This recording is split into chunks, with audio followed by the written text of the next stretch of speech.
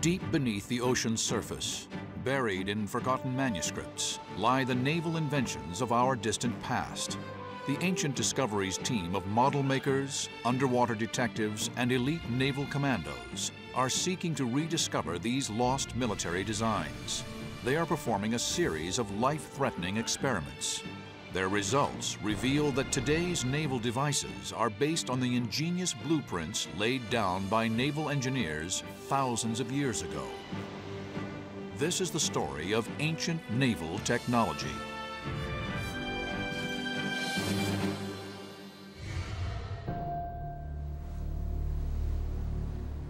To explore ancient naval warfare, we must first piece together the story of the sea.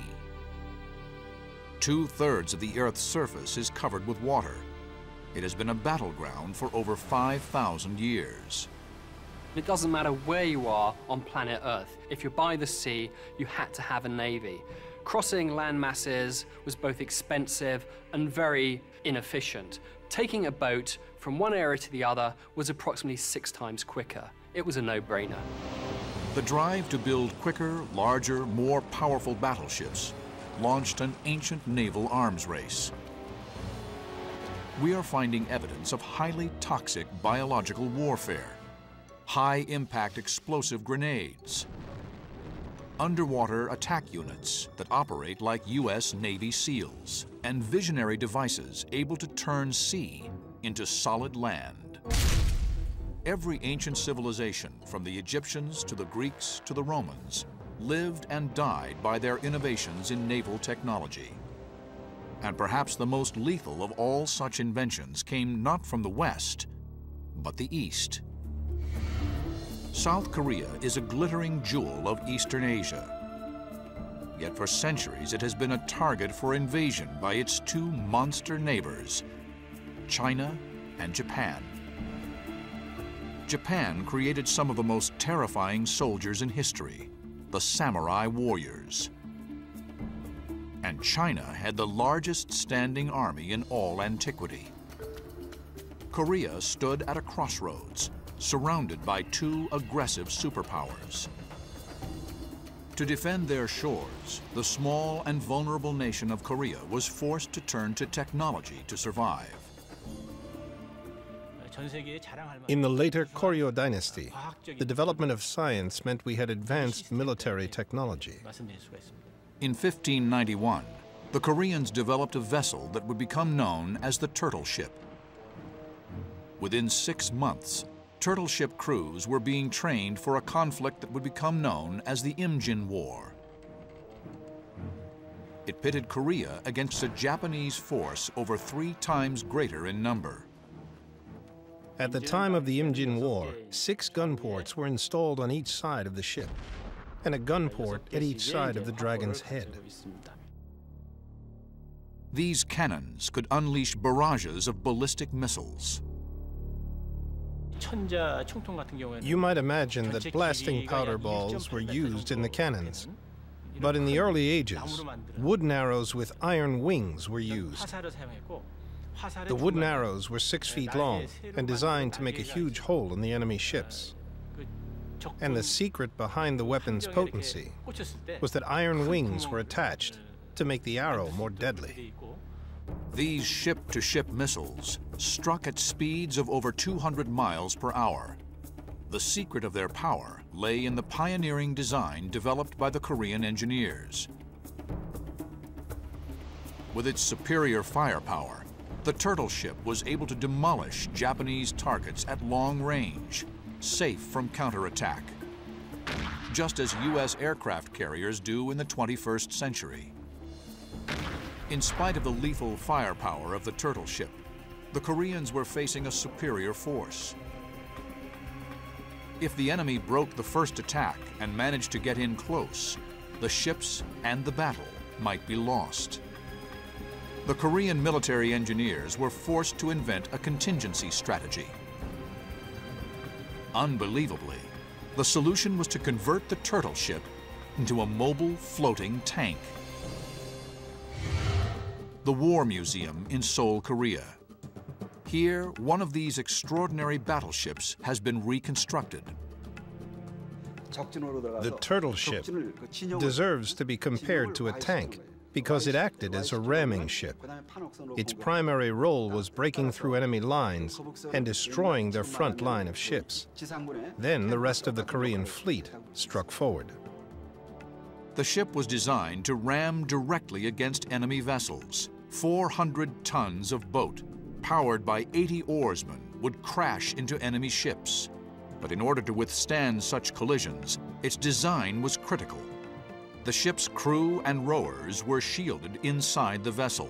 Outside, the turtle ship was clad in iron plating, and these spikes were not just for decoration. Japanese ships would approach the Korean ships at high speed and jump on the deck to kill the Korean soldiers. This was because their ships were much higher in the water. In order to prevent this happening, spikes were nailed to the roof. Each plate carried a two-foot-long spike that would impale enemy invaders who risked an aggressive boarding. The turtle ship had become a giant iron cactus. But the spikes were not its only defense. Mounted on the front of the destroyer were the gaping jaws of a majestic dragon. Yet this was no decorative figurehead. Ancient stories claim that contained within its mouth was a deadly secret weapon. The front part of the turtle ship was designed as a dragon head, with a mouth which served as a gun port and a small cannon of mythical power was placed there. A projector was also installed that could release dense toxic smoke generated by burning a mixture of sulfur and saltpeter. The Dragon Head was a prototype chemical weapon. It had the potential to deliver poison gas at an enemy. This predated the use of mustard gas in World War I by 500 years and began the technology of chemical warfare a terrifying military option to this day. But poison gas is only effective if the soldier can direct it at the enemy, away from his own troops. Richard Windley is an historian and one of the world's leading model makers. He is fascinated by stories that the Koreans had mastered the ability to deliver chemical gas to their enemies he has constructed a replica of the dragon's head. He is about to test the effectiveness of the delivery system. If we think about the use of gas, say, in the First World War, obviously it was a very, very dangerous technique. It only needed the wind to change, and the gas could actually affect the people who were trying to deploy it rather than the enemy. So it is a risky stratagem. Right, I've got one of the, uh, the little chargers here. I'm going to light this, pop him in the pot, put the lid back on fairly, fairly quickly, and then hopefully we should get some smoke. At first, the smoke lingers around the head. This would be lethal for attacking troops. But then the wind picks it up the, the, assumption is with, with something like this that it was projecting the smoke a considerable distance. Well, if you try blowing anything in air, you can't blow it more than probably about 10 feet at most. So really it was just a way of getting this stuff into the air and dispersing it. But I think that with given the right kind of maneuverability of these turtle ships, it probably was a viable option. And what we have to remember is these guys were heavily outnumbered, and anything that would give them an advantage or that would save their culture and their civilization and their country was something that, that they would fight very hard to realize. If the turtle ship captains had been able to position themselves upwind of the enemy, the poisonous gas could have been delivered without the Korean commanders killing their own troops. The use of toxic gas remained at the mercy of the wind until the delivery of gas by mortar in the trenches of World War I. From its lethal arsenal to the ramming potential of its spiked cladding, the turtle ship was a weapon capable of changing the tide of war. But Eastern Asia was home to an even more lethal seafaring superweapon. One of the greatest underwater discoveries of the modern age has shown how high explosives rocked the high seas almost a millennium ago.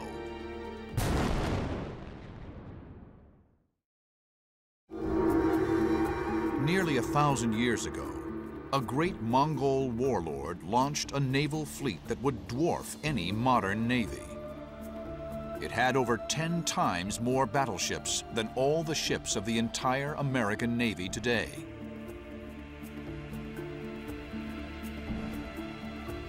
On board was the most lethal military hardware available at the time. Evidence lying 50 feet beneath the waves is suggesting that the Mongol generals supplied their Marines with high explosive grenades. In the 13th century, Kublai Khan was the ruthless warlord who commanded an aggressive expansionist superpower. At the height of its power, the Mongol Empire covered 12 million square miles, over three times the size of the entire United States. But one nation held out against the might of the largest continuous superpower in history. That nation was Japan.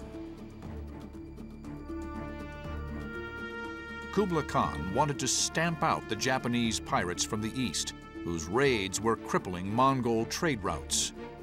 In the summer of 1281, Japan's fate hung in the balance. If Japan lost, it wouldn't be the same country. This was the first invasion attempt from abroad, and the fact that people came together to repel it perhaps engendered a sense of nationhood.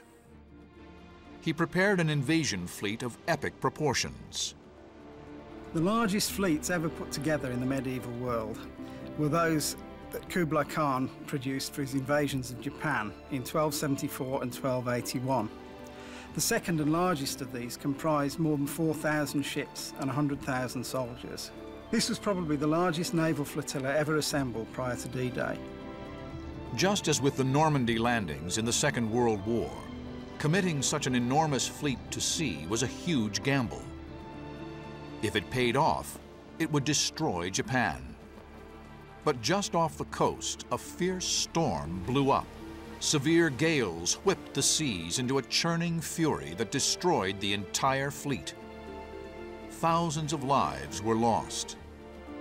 Japanese people believed that their nation was protected by God. And when the Mongols attacked, historical record indicate that there was a great typhoon, and people believe that this wind was brought by gods. They called it divine wind, which in Japanese is pronounced kamikaze. This would be the rallying cry of Japanese suicide bomber pilots who destroyed American ships and morale in World War II, 500 years later.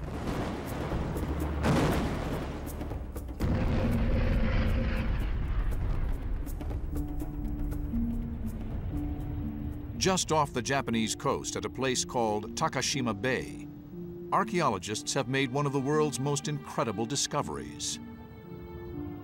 Khan's lost fleet has at last been found beneath the waves.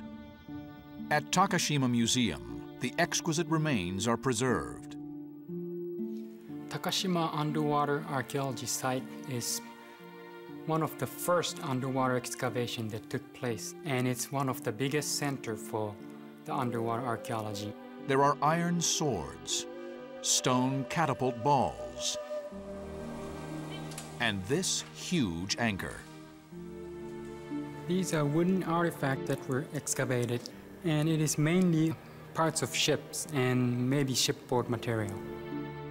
But the most intriguing of all the artifacts from the Takashima Bay wrecks are these simple hollow spheres. Closer inspection reveals evidence of explosion damage. And intriguingly, the damage appears to come from a force inside the objects themselves. Were these devices the world's first high explosive grenades? In the sacred confines of the Hakozaki Shrine Museum in Fukuoka, Japan, lies a clue that could be the final piece in the puzzle. An ancient scroll guarded by the high priests of one of Japan's three great shrines. The scroll depicts events from around 700 years ago. from this area where the Mongol invasion first started. The Mongols were an equestrian people, but had a device that utilized gunpowder. The Japanese had never before encountered explosives and were very surprised. Upon close inspection, one sequence in the scroll contains exciting evidence of the use of the balls at the Takashima Bay wreck. The scrolls tell of a lethal explosive weapon like a modern grenade. The ancients called it a tetsuhao, Six of these weapons have actually been discovered by archaeologists, proving that the contemporary evidence was correct and that weapons of this level of, of sophistication and deadliness were in fact used as early as 1281. X-rays of unexploded Tetsuhao reveal that they were filled not just with gunpowder, but also with deadly shards of iron. The Tetsuhao could have been launched using catapults, or simply thrown by hand, like a modern infantry grenade. The results would have left the Japanese shocked and terrified. Japanese has never seen such a weapon that makes loud noise and explode. And also it's gonna slice the enemy's armors and hand and everywhere, so it's gonna lower the morale of the enemies. But just how devastating these ancient bombs really were has never been tested until now. Ancient technology expert Richard Windley is investigating the killing potential of the ancient Tetsuhao. He has created a reconstruction of the fabled Japanese grenade.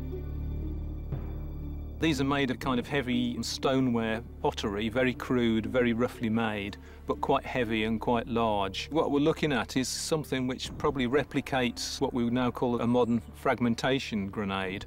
So this is intended to cause as much physical damage as is possible to cause. It was actually quite a nasty weapon. Now comes the moment of truth for the ancient Tetsuhao. Our weapons test will involve highly dangerous live explosives. So we've called in the pyrotechnics team behind James Bond and other Hollywood blockbusters. We've got to look round the hay bales, so we've got to be close enough, protect that, so we hay bales and sandbag wall between that and the explosive charge. An ancient Tetsuhao has not been exploded for nearly a thousand years. The exact blast radius is not known so the team has retreated 200 feet. The Tetsuhao is believed to create an incredible blinding flash upon ignition. To capture this, we've brought in specialist slow-motion cinematography.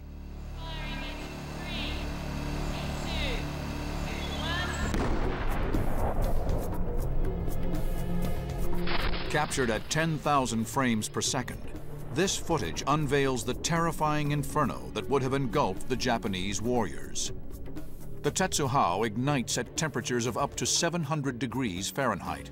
The explosion would have a 100% lethality rate at a blast radius of 20 feet.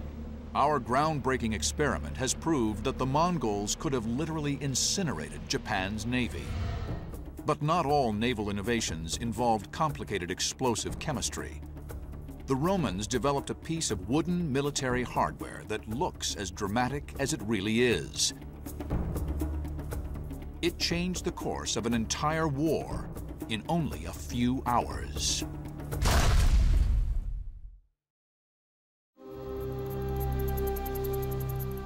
Two thousand years ago, the dominant superpower in the ancient world was the great empire of Rome, policed by the legions, the first full-time professional army in history. The Roman Empire spanned across two and a half million square miles of land.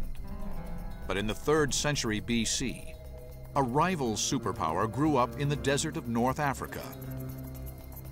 Its name was Carthage. Carthage, initially an outpost of Phoenicia in, in Palestine, becomes the trading superpower of the Mediterranean. And the struggle between Rome and Carthage is a struggle for power and control over trade and land and critical supplies, most important of which are things like grain. On one hand stood Rome's colossal army of over 350,000 well-drilled and well-armed soldiers. On the the other, Carthage's domination of the sea. They fight first over Sicily, which is an enormous granary, either for Rome or for Carthage. And it's life and death. No grain, no bread, no success. At the heart of Carthaginian naval power was its magnificent circular harbor. Built to house over 200 super destroyers, the harbor was Carthage's military headquarters. While a modern U.S. aircraft carrier takes five years to build, Carthaginian engineers constructed warships in the blink of an eye. Ancient accounts tell of such ships being built in 40 days from the moment the tree was first felled. Between Carthage and Rome lay the Mediterranean Sea, a battlefield of almost one million square miles. The Mediterranean became the focal point for a fearsome power struggle. Key ancient navies could outperform others, not by numbers, but by skill. The Athenians, the Rhodians, the Carthaginians had major advantages in seafaring skills. But two and a half thousand years ago, the Roman navy was almost non-existent, save for a few river patrol boats, the remains of which now lie in Mainz Museum, Germany. The Mainz Type A boats were elegantly designed. They are very narrow and long. There's definitely no evidence that these ships had been used for fighting because they are too small, too narrow, but they were evidently used to control the river. But Rome's riverboats would be no match for the might of Carthage's navy. How could the Roman generals bring their military superiority onto the open ocean? They copied Carthaginian vessels, they mass-produced them, and they developed new tactics to negate Carthaginian skill and replace it with Roman power. They turned sea battle into land battle. The Roman military engineers started building boats with a super destroyer known as the Quinquereme at the head of the fleet. A hundred feet long, it was the fast attack heavy troop carrier of the ancient world. A Quinquereme was a huge naval vessel. There are probably 700 people rowing it. These are incredibly expensive, incredibly complex bits of machinery. But the troops carried by the Quinqueremes were not Marines or Navy SEALs. They were legionnaires, infantrymen used to fighting on land. The Romans needed to develop a way of getting their legions onto the decks of the Punic warships as quickly as possible. Roman naval engineers proposed an ingenious solution, a 40-foot-long, two-ton bridge called a corvus. It's basically a boarding ramp with a large spike on the front. You drop the ramp, the spike sticks in the enemy ship, and your Roman legion rushes across and chops up the Carthaginians, who are not expecting to fight this kind of battle. They're expecting to fight a ship-on-ship -ship battle, not a man-to-man -man combat. But would the ambitious new weapon work in battle? Richard Windley is investigating. He has created a half-size version of the Corvus. The real Corvus was something like 36 to 40 feet in length. It was four feet wide, probably weighing two to three tons, possibly even more.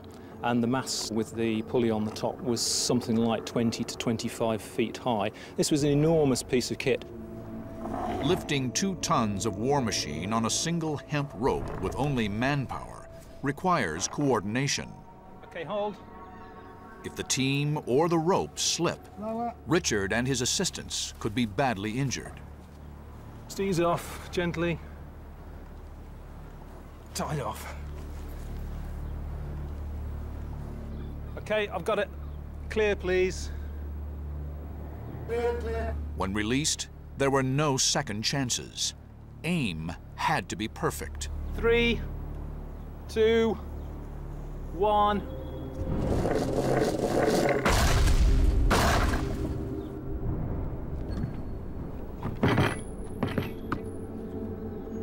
Right, well, um, it looks as though we're pretty well impaled.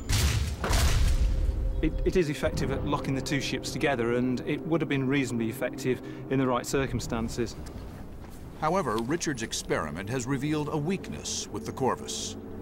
It would have needed probably quite a lot of training to get the timing exactly right, the release exactly right. Again, with the ships pitching and waving, moving one against the other, the timing would have been absolutely crucial. Even this scaled-down example is a struggle for Richard and his assistants to raise a second time.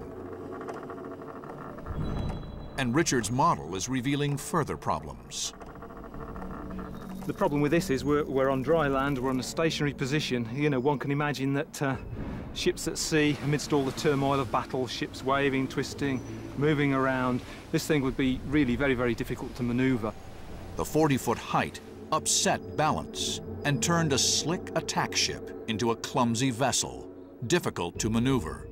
The immense weight towering above the deck of a rolling cruiser made the vessel unstable. If the seas picked up, the top-heavy device could easily flip the ship over. But Carthage needed to be crushed at sea. Despite the risks, the Romans installed the device. Would the calculated gamble pay off?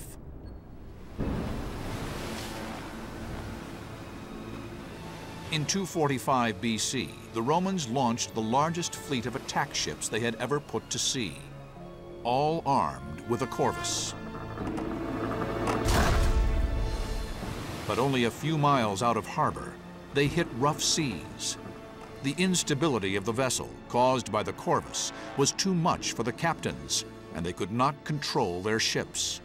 It's too cumbersome, it's too bulky, it, it breaks all the rules. And the Romans invariably find themselves in a storm, and not being very good seamen, they don't see it coming, and they don't know how to deal with it, so they lose their fleet. 270 vessels went down, with a loss of 100,000 men the greatest loss of any maritime force in history. All because of these simple planks of wood. This is a very ungainly and cumbersome machine and really it was a quick fix. It was a very ad hoc solution to a problem. The actual application of it had huge detrimental effects to the manoeuvrability of the ship which was slow and ponderous already. The Romans abandoned the idea of the corvus was never adopted by any military force ever again. But not all naval battles were fought above the waves. The quest for maritime supremacy drove ancient military engineers to look beneath the ocean's surface, pushing human endurance and sub-aqua technology to the limit, transforming ordinary seamen into the most high-tech elite special forces in history.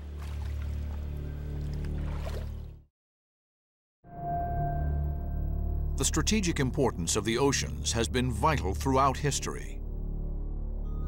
We're looking at a world connected by oceanic transport. It's the only way of moving anything that weighs more than a few hundred pounds.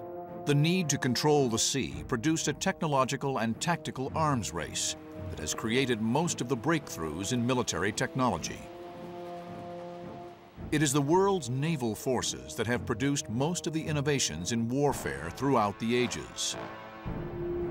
Most of the modern sophisticated weapons in use today, including aeroplanes, bombers, tanks, you name it, they had to be the best because otherwise they were going to lose the war at sea. From the U.S. battle fleet of the 21st century, through the British domination of the waves during her empire, to the massive expansion of Greece across the Mediterranean 3,000 years ago, the nation that ruled the waves ruled the world. But there was then and still is today a need not just to rule the oceans, but rule the water beneath. Submarine technology and special forces groups in modern armies are the rapier by which generals can turn battles and even wars. Because undersea attacks can be secret, unseen by enemy sentries.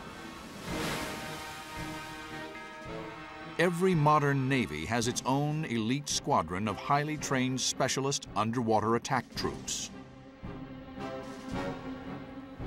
Paul Haynes is a retired commando from the Royal Marines.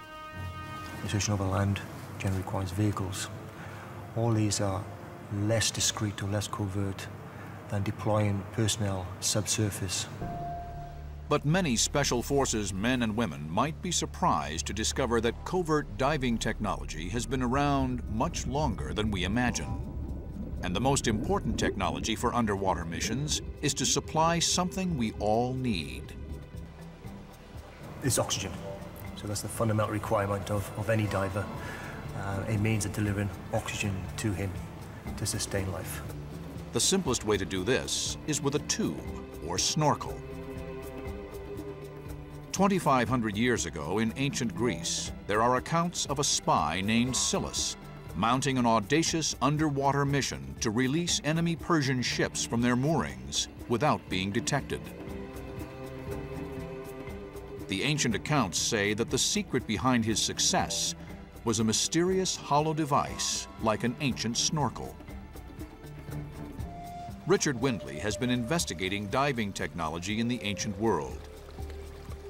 It's often thought that the idea for using snorkels was derived from watching elephants uh, when they were swimming. These are actually bamboo. Uh, the original would have been the giant reed, Arundo donax, which grew all around the Mediterranean. It grew to fairly large sizes. The device at the bottom is something I've added myself because obviously if you simply got a tube in your mouth, you've got to look upwards all the time and it's difficult to uh, um, achieve any kind of underwater tasks. The texts show the diver at a depth of 15 feet. But due to increased pressure on the lungs, snorkels are only effective down to around two feet. So Paul believes the ancient illustrations are wrong. All snorkels have limitations. Depends upon the length of the snorkel, primarily. If it's too long, you'll have significant challenges in trying to breathe. So there is an optimum length for any snorkel. Richard's replica ancient snorkel is three feet long, longer than the optimum two feet. Paul takes the snorkel to its maximum depth.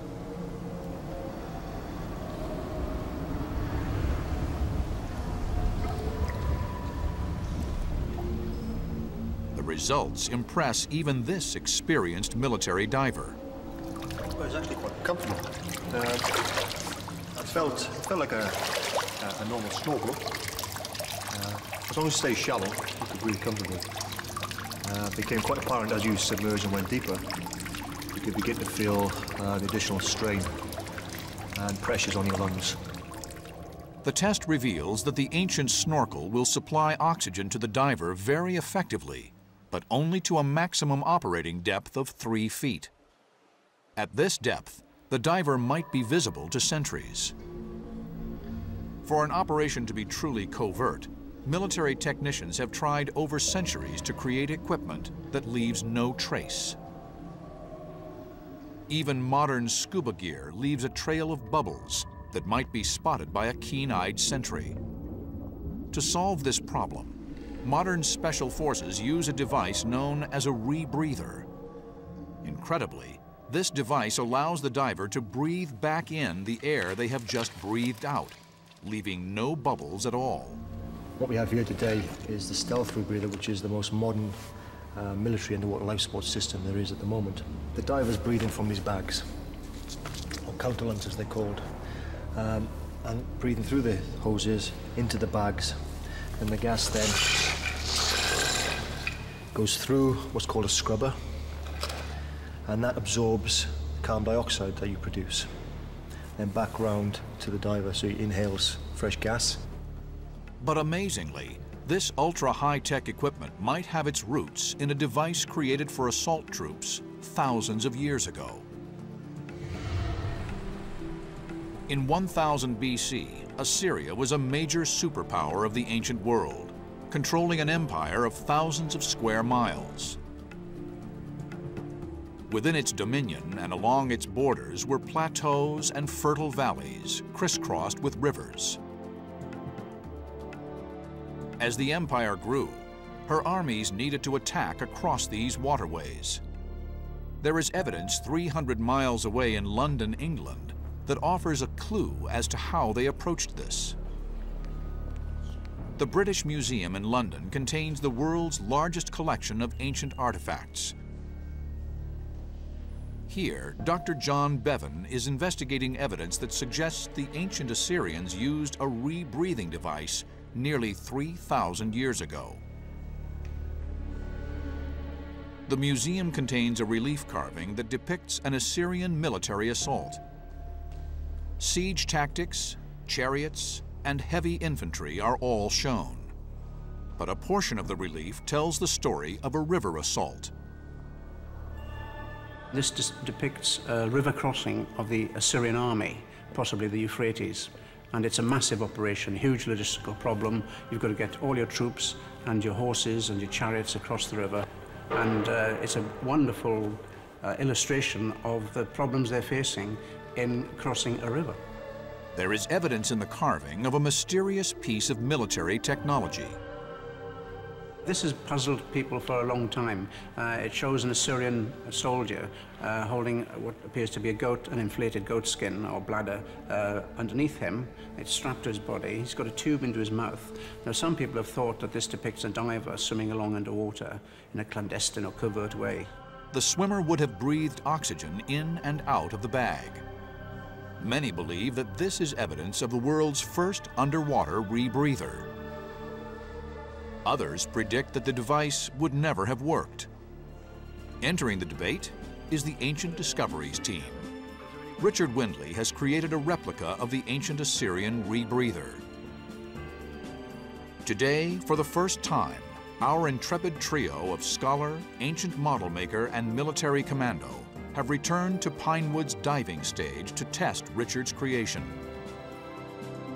The trials will require Paul to submerge beneath the water with no oxygen supply. He will only be able to breathe the air he has already breathed out. There is evidence from nearly 3,000 years ago of covert underwater assault technology. These images suggest that the ancient Assyrians developed a device that allowed them to mount an attack while breathing air underwater without leaving any trace of bubbles. The perfect weapon for a covert subsurface attack. Ancient model maker Richard Windley has built a model of the device. We think possibly the original versions of these um, may have been an entire animal skin, and these had to be sealed. And the way they did that was to stitch them and then use like a slurry of um, all sorts of bizarre mixtures like honey and beeswax. This actually does a fairly good job of, uh, of waterproofing. Today, ex-Royal Marines Commander Paul Haynes is going to test the model. Is this the first ever completely covert military equipment?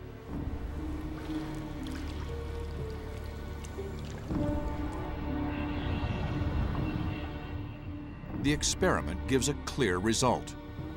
The challenge is straight away, uh, it's positive buoyancy. So uh, it immediately wants to uh, lift you to the surface. Air has 800 times less density than water, causing the breathing bag to shoot upwards to the surface. Underwater operations would have been almost impossible, yet ancient reliefs clearly show it being used in operation. Ancient historian John Bevan has interpreted this evidence.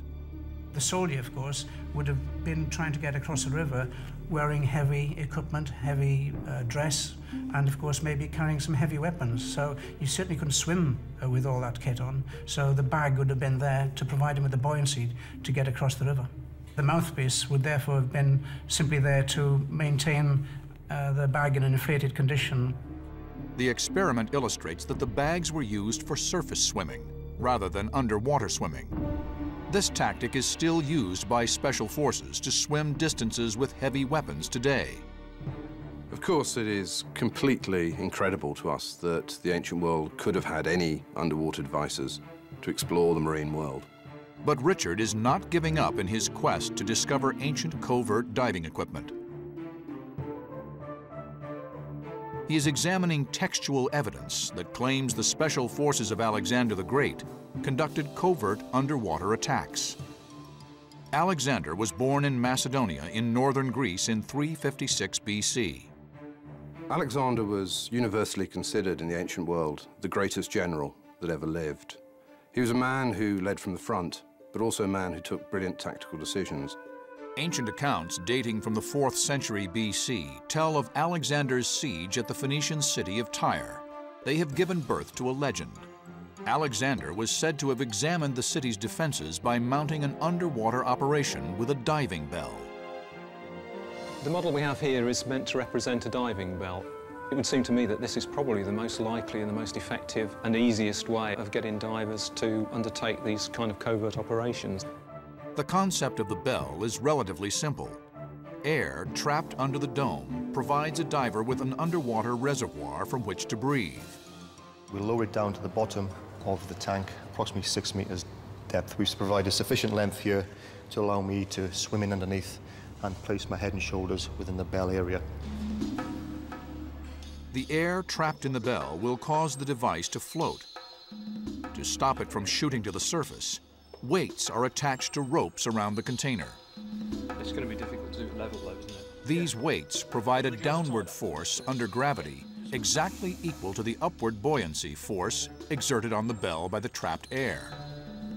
While Paul prepares to dive again, technicians maneuver the bell into the water.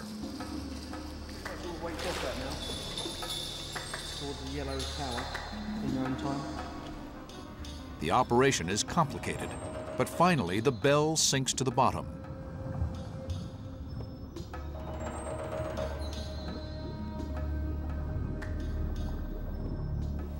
While Richard watches from the surface, Dr. Bevan observes from a reinforced viewing window beneath the tank. With the bell on the bottom, Paul fills his lungs and dives. Once at the tank floor, Paul will perform two tests. The first investigates whether he can move around using the bell as a permanent air source. As he works, Paul is only breathing the compressed air from the bell into his lungs. A second test investigates whether Paul can make journeys into the open water and then return to the bell for more air. But with only the compressed air from the bell in his lungs, if he changes his depth, the increase in pressure will cause his chest to explode. This is an exceptionally dangerous operation. Paul relies on all his training to keep himself at the exact depth of the bell and alive. For this reason, he must exhale continuously as he returns to the surface. Once you get down and get settled, I mean, the breathing's quite comfortable and you've got good visibility.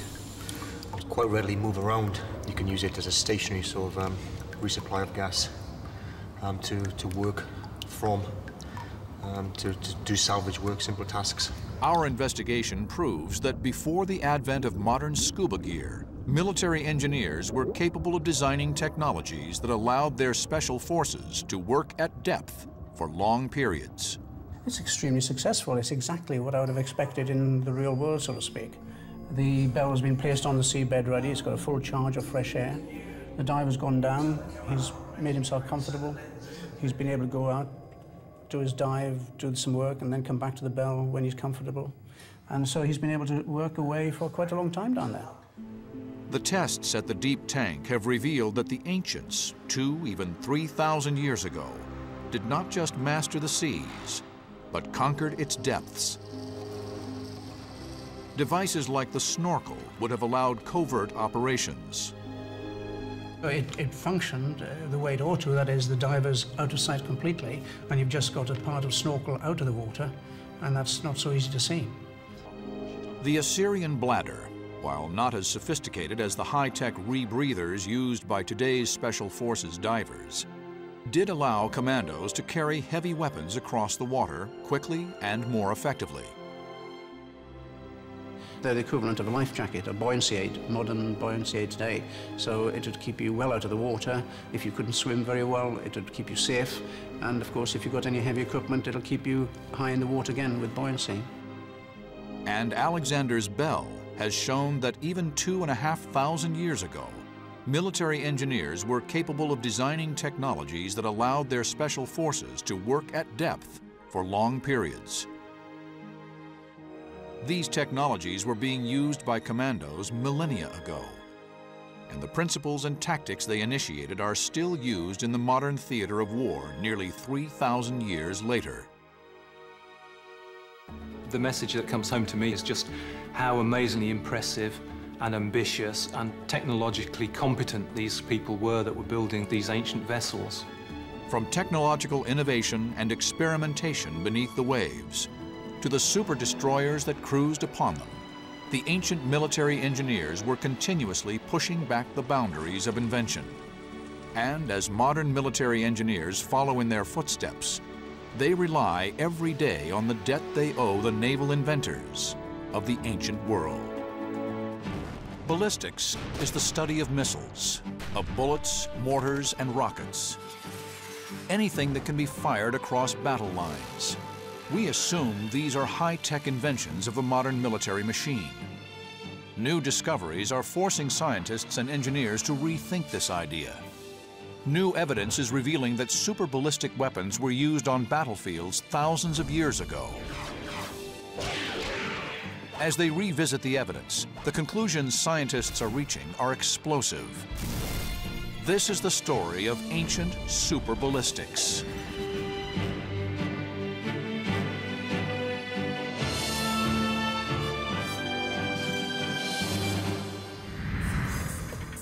The ancients devised super ballistic weapons of surprising power. Mega catapults that destroyed cities. Multiple rocket launch systems capable of firing 100 rounds a second. Anti-personnel machines that pierced armor and shields. And even handheld superweapons whose tactics and design is echoed on today's battlefields. The question being investigated by ancient discoveries is just how effective were these weapons? What tactics were used? What technologies were employed? What was the kill ratio they could achieve? Now, in a series of groundbreaking ballistic experiments, we put the designs of the ancient military engineers to the test. Our team of leading military historians and modern-day weapons experts are about to reveal that war in the ancient world was as bloody and lethal as it gets. The ancient battlefield is not a place you want to be. Each time the engineers, the scientists, the armourers came up with an advance, it became a more horrific place. It's incredible how advanced these engineers were at developing ways to kill their enemy. Eliminating or neutralizing your enemy has been a concern of mankind for thousands of years. Ever since conflict began, men have attempted to invent ways to attack an enemy while minimizing the risk to the attacker. The best way to do this is to put distance between yourself and the enemy. And this means attacking using projectiles. Ballistics is the science that deals with the motion, behavior, and effect of projectiles, like arrows, bullets, and rockets. The concept is as old as war itself. We know from the archaeological record that an understanding of ballistics goes back hundreds of thousands of years, from when man first used a throwing stick to extend the lever of his arm to make a javelin go further. When we get to the written record, we know that they were studying it as we do now, as a science. The quest to discover the origins of ballistic science begins in the East, in the ancient superpower of China. In the 5th century AD, over 1,500 years ago, China was the undisputed technological superpower of the ancient world. For over 2,000 years, her engineers were at the forefront of scientific development, creating inventions that continue to shape the modern world. And perhaps none of these have had greater impact than those designed for war. The Chinese military thinkers were concerned mainly with psychological warfare and with using the advances in technology which China's own industrial revolution had given them to give them the advantage over the rest of the world, the people they called the barbarians. Ancient Chinese military texts contain images and descriptions of weapons with comparable destructive capabilities to many of the weapons used today. This triple crossbow, first developed in the Song dynasty, was a 25-foot-long siege device that employed not one but three bows to give it extreme power to fire metal-tipped missiles up to a mile. As early as a thousand years ago, Chinese weapons manufacturers were creating weapons with a lethal battlefield potential. This model of a thousand-year-old flamethrower could shoot flame over 30 feet. The pumping action drew a flammable agent similar to today's gasoline into a tube. The return thrust expelled the liquid toward the enemy at a temperature of 900 degrees. One of its first recorded deployments was in a naval battle on the Yangtze River by the Southern Tang forces against the Song Emperor's navy in 975 AD. Really, the flamethrower is one of the probably the nastiest and um, most devastating weapons, certainly from a psychological point of view, but also from a point of view of injury. One can imagine the screams of people who are being burned and charred by the flames. Really a devastating piece of equipment. But even this lethal weapon had a limited range. It wasn't until the 9th century that the Chinese stumbled across the invention that allowed the development of long-range ballistic weapons. It is the one single Chinese invention that did more to rewrite history than any other. Gunpowder. Gunpowder is thought to have been discovered in the mid-800s AD. It was first used in fireworks, but military engineers soon realized its potential for war. It is the use of gunpowder as a propellant to fire missiles across the battlefield that changed the history of warfare and introduced a class of weapon we associate with the modern battlefield, the rocket. The Chinese not only invented gunpowder, but by about the year 1100, they had realised that by varying the proportions of the ingredients they used, they could produce gunpowder tailored to specific requirements. And one of these was the slow and even burning powder needed to propel rockets. But there was still a lot of work to do. Without any way of guiding the rocket, it would zoom about like a let-go balloon. To make the rocket fly toward the enemy, the Chinese engineers began to investigate ballistic properties. They turned for inspiration to a missile that had been around for centuries, the Arrow. By adapting the use of flights to stabilize the trajectory, they soon found they could send the rocket in a straight line toward the enemy. This is the basic aerodynamic principle that underpins all of today's rocket technology and gave the Chinese a tactical advantage during the Battle of Kaifeng in the 13th century, when they repelled the Mongol invaders by unleashing a rocket firestorm. Not satisfied, the Chinese investigated further uses for their new weapon.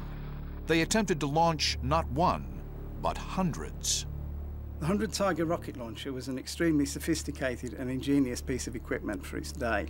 It consisted basically of a box launcher mounted on top of a wheelbarrow. The wheelbarrow was a, a simple uh, one-wheel type as used on Chinese farms for hundreds of years. All of the rockets were fired using a single fuse, and to ensure a wide dispersion, the launchers were wider at the top and narrower at the base.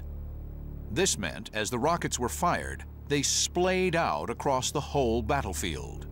This made it much more effective as a psychological weapon because no one could tell where they were going to strike. A hundred rockets would be fired more or less simultaneously, spreading out over a very wide area, their trajectories hidden by the smoke and the flame. And the entire enemy army would have been in fear of the thing. Even though there were only 100 missiles, it would be impossible to tell who was within the danger zone and who was not.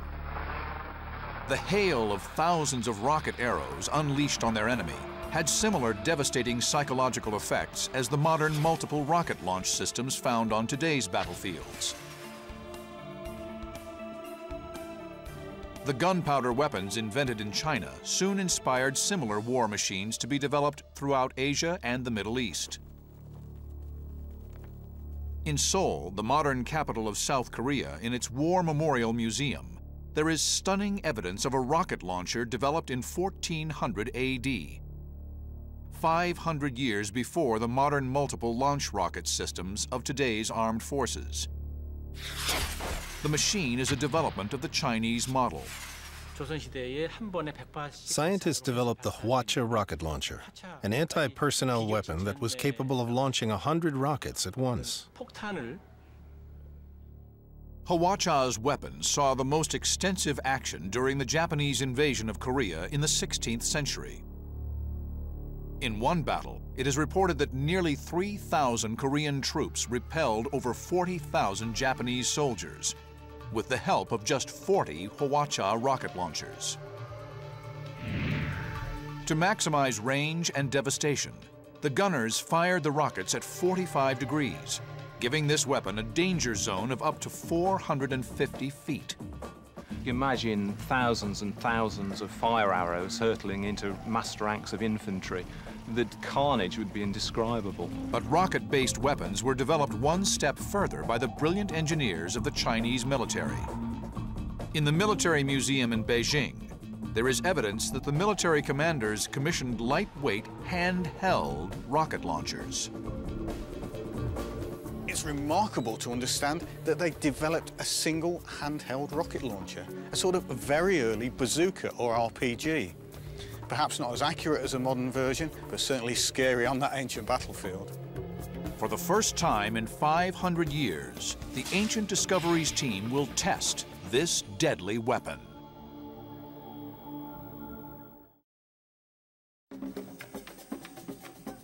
The ballistics engineers of ancient China devised a range of rocket-propelled ballistic missiles that caused terror in the ranks of enemy soldiers from single-target missiles to the ancient equivalent of today's multiple rocket launchers, the battlefields of China were technologically advanced killing fields. When the arrows come at you and they're burning with flame and they explode when they hit something, suddenly this is something completely new. You've never encountered this before. The effect is, is, is shocking, it's demoralizing, it causes panic, and each new development of weaponry would have that same effect. But in an effort to produce heavy artillery, the Chinese ballistics engineers employed a different principle, the lever. In ancient texts lie mysterious blueprints for an intriguing ballistic machine. In the National Military Museum in Beijing, military historians have recreated its design. First developed and manufactured in the 7th century AD, the Xuanfeng, or whirlwind, is the sniper rifle of ancient catapults. Its main use on the battlefield was to be deployed to take out specific soft targets, like enemy generals or other catapults. The whirlwind is light and mobile and could be quickly moved to tactical positions. Its big advantage was that it could turn through an arc of 360 degrees, so it had an arc of fire all the way round and was obviously useful for dealing with possibly attempts to outflank the army or threats coming from different directions.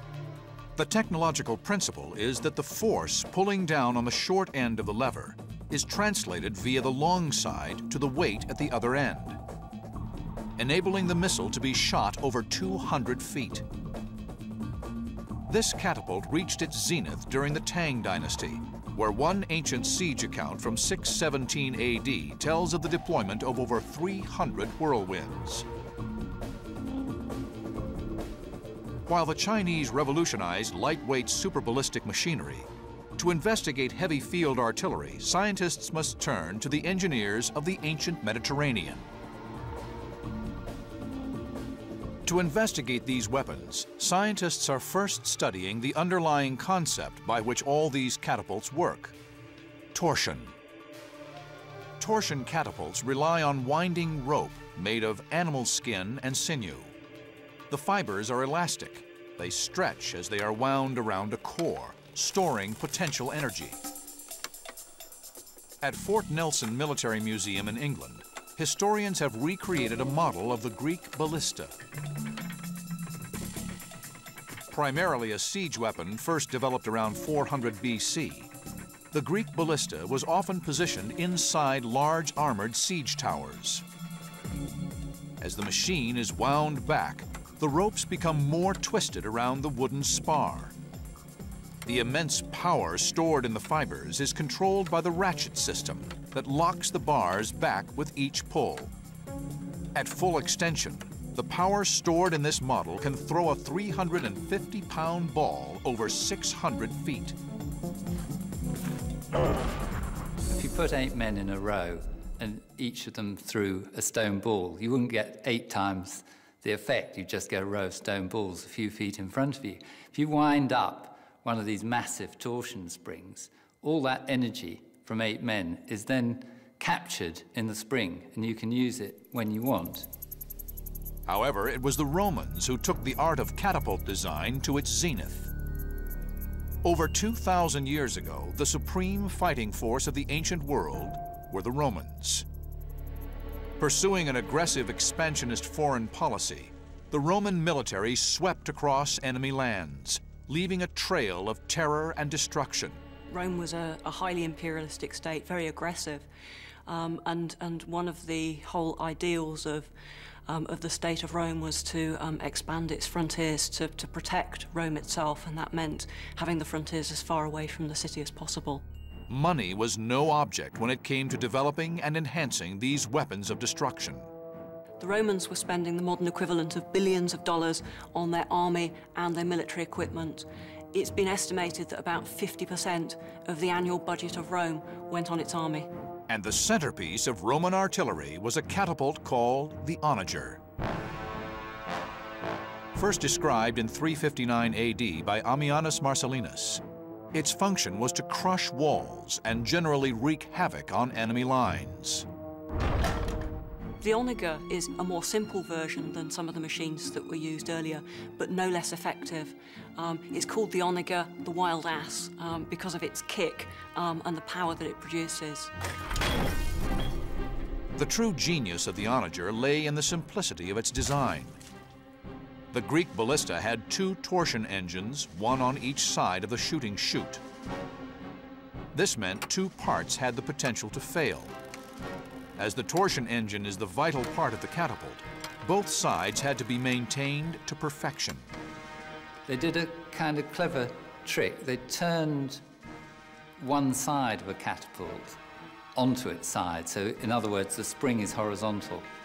By placing half a ballista on its side, there was only one torsion engine to be constructed, maintained, and defended, freeing up money and manpower for other military demands.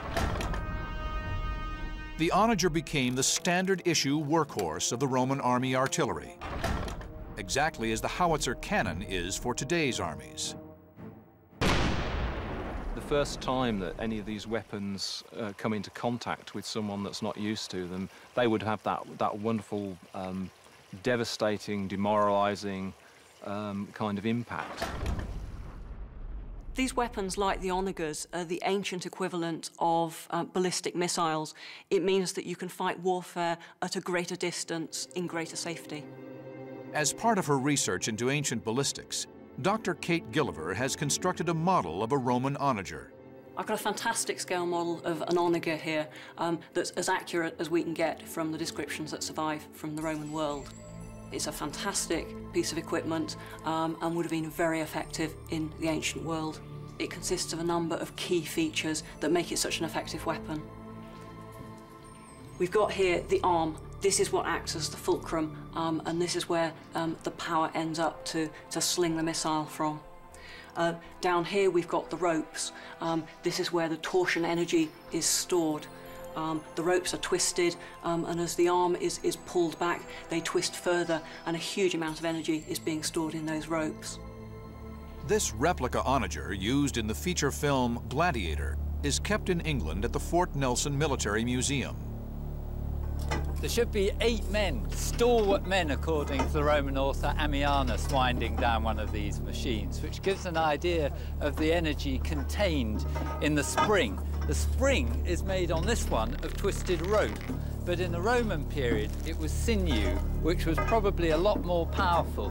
Nevertheless, we hope to get some sort of action out of this machine. The really key thing, the way that that energy can be stored and then triggered off at exactly the right moment, is this little device here. Um, this is a ratchet, um, and it's a huge advance in ballistics. The Roman onager fired stone balls like this, very useful for knocking bits off enemy walls, keeping the ramparts clear of enemy defenders.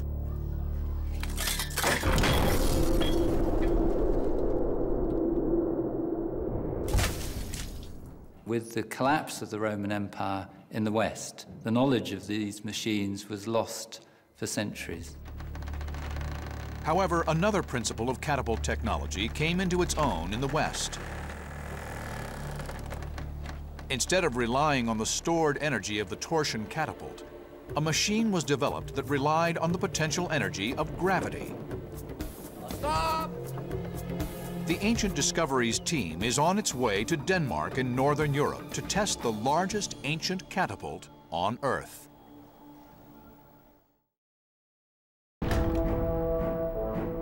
As ballistic science developed, missiles became even more effective.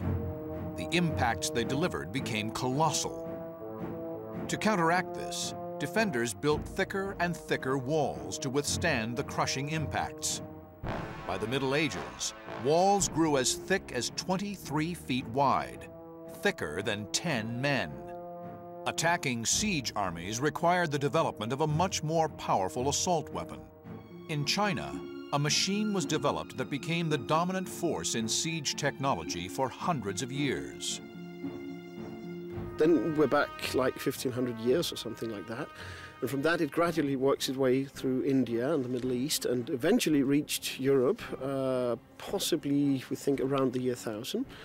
And then it spread quite quickly across Europe and um, soon became one of the, the main weapons of major warfare. The trebuchet was capable of hurling the weight of a car a third of a mile, a devastating weapon. In Denmark, Dr. Peter Vemming has built a replica of a trebuchet. He is investigating the power of the machine. We have a lot of data from these machines, so we, we, we have a, a, a nice documentation of how, the, how they work. The trebuchet is located on the shores of Falster Island. Here, archaeologists have constructed a replica medieval town, complete with living quarters and a port. But on the banks of the river sits a site that would be recognizable to generals and artillery captains for a thousand years.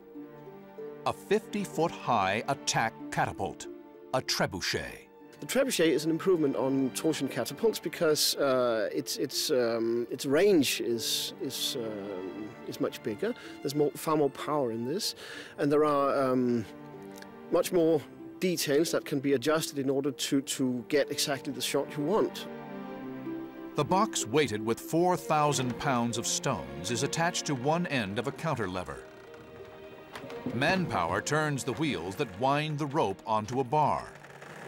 This pulls down the massive shooting arm. Stop! The 40-pound missile is loaded into a sling that rests in a channel. The potential energy now stored in the system is 3,000 kilojoules. The machine is ready to shoot. Peter can now test how accurate the machine is and how much power can be delivered. In the river, Peter has placed a target. He uses a speed trap radar gun to measure the speed of the ball as it leaves the sling.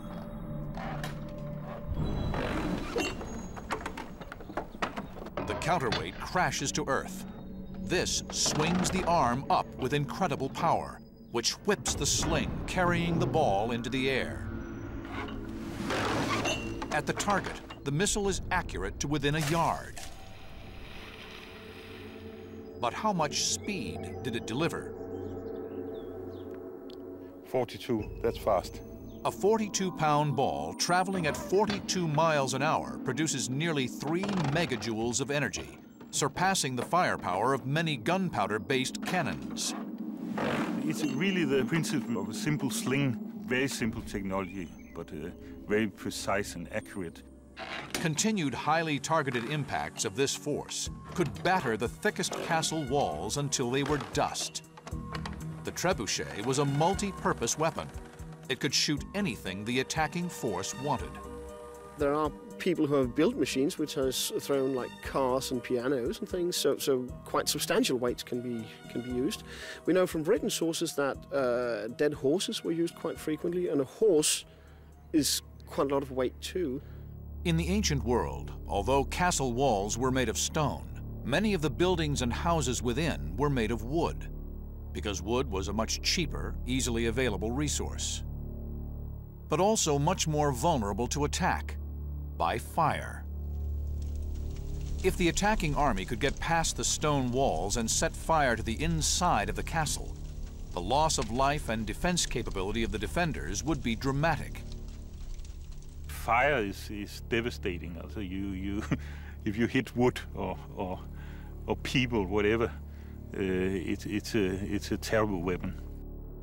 A ballistic missile was designed that could do exactly this, and it was delivered using the trebuchet.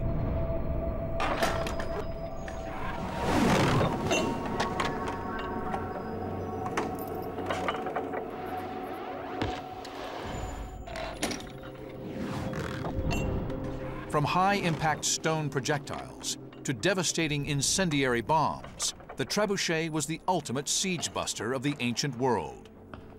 In Denmark, you do not have very easy access to arms, and being a man, I think that weapons are very interesting, and this is so much the ultimate weapon. It's the best toy I have ever had. but not all conflicts were fought across moats and castle walls. Many happened in open battle thousands of troops faced each other in the field. But how could commanders attack such huge numbers of enemy troops before the invention of high explosive mortar or the machine gun? The answer was to invent their own version of these weapons. There is evidence that the ancients invented anti-personnel weapons and the equivalent of today's rapid-fire automatic gun.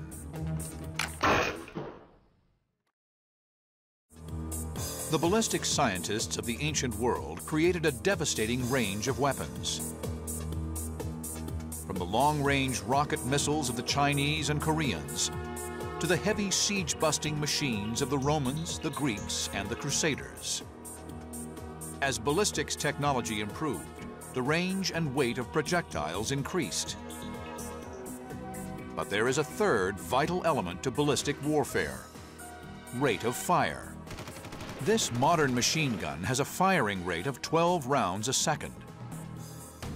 The automatic weapons used by modern armies use the recoil energy of each shot to reload the chamber and fire a second round.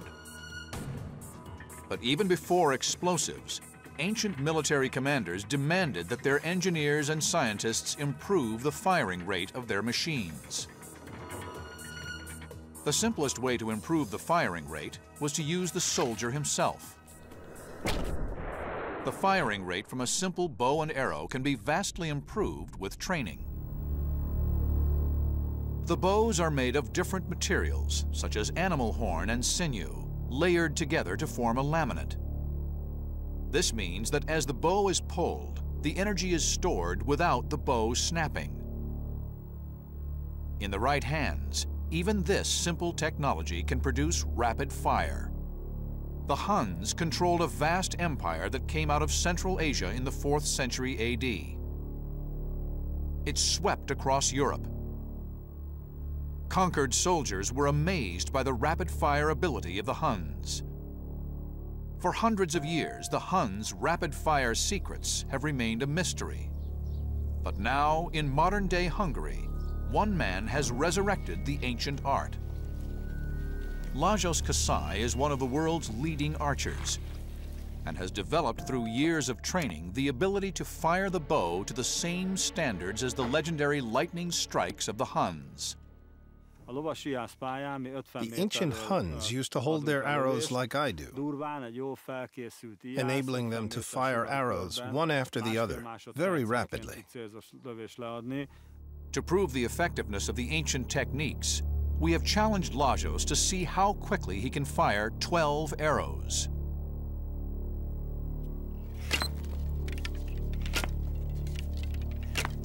Lajos is able to hit every single moving target. And he does so at an incredibly high fire rate.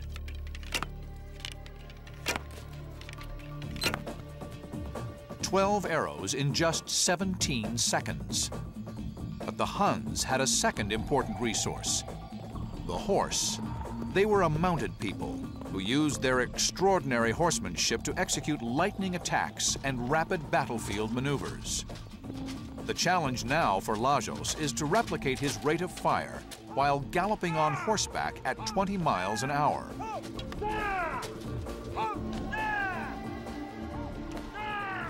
At 22 miles an hour, Lajos fires six shots in 10 seconds.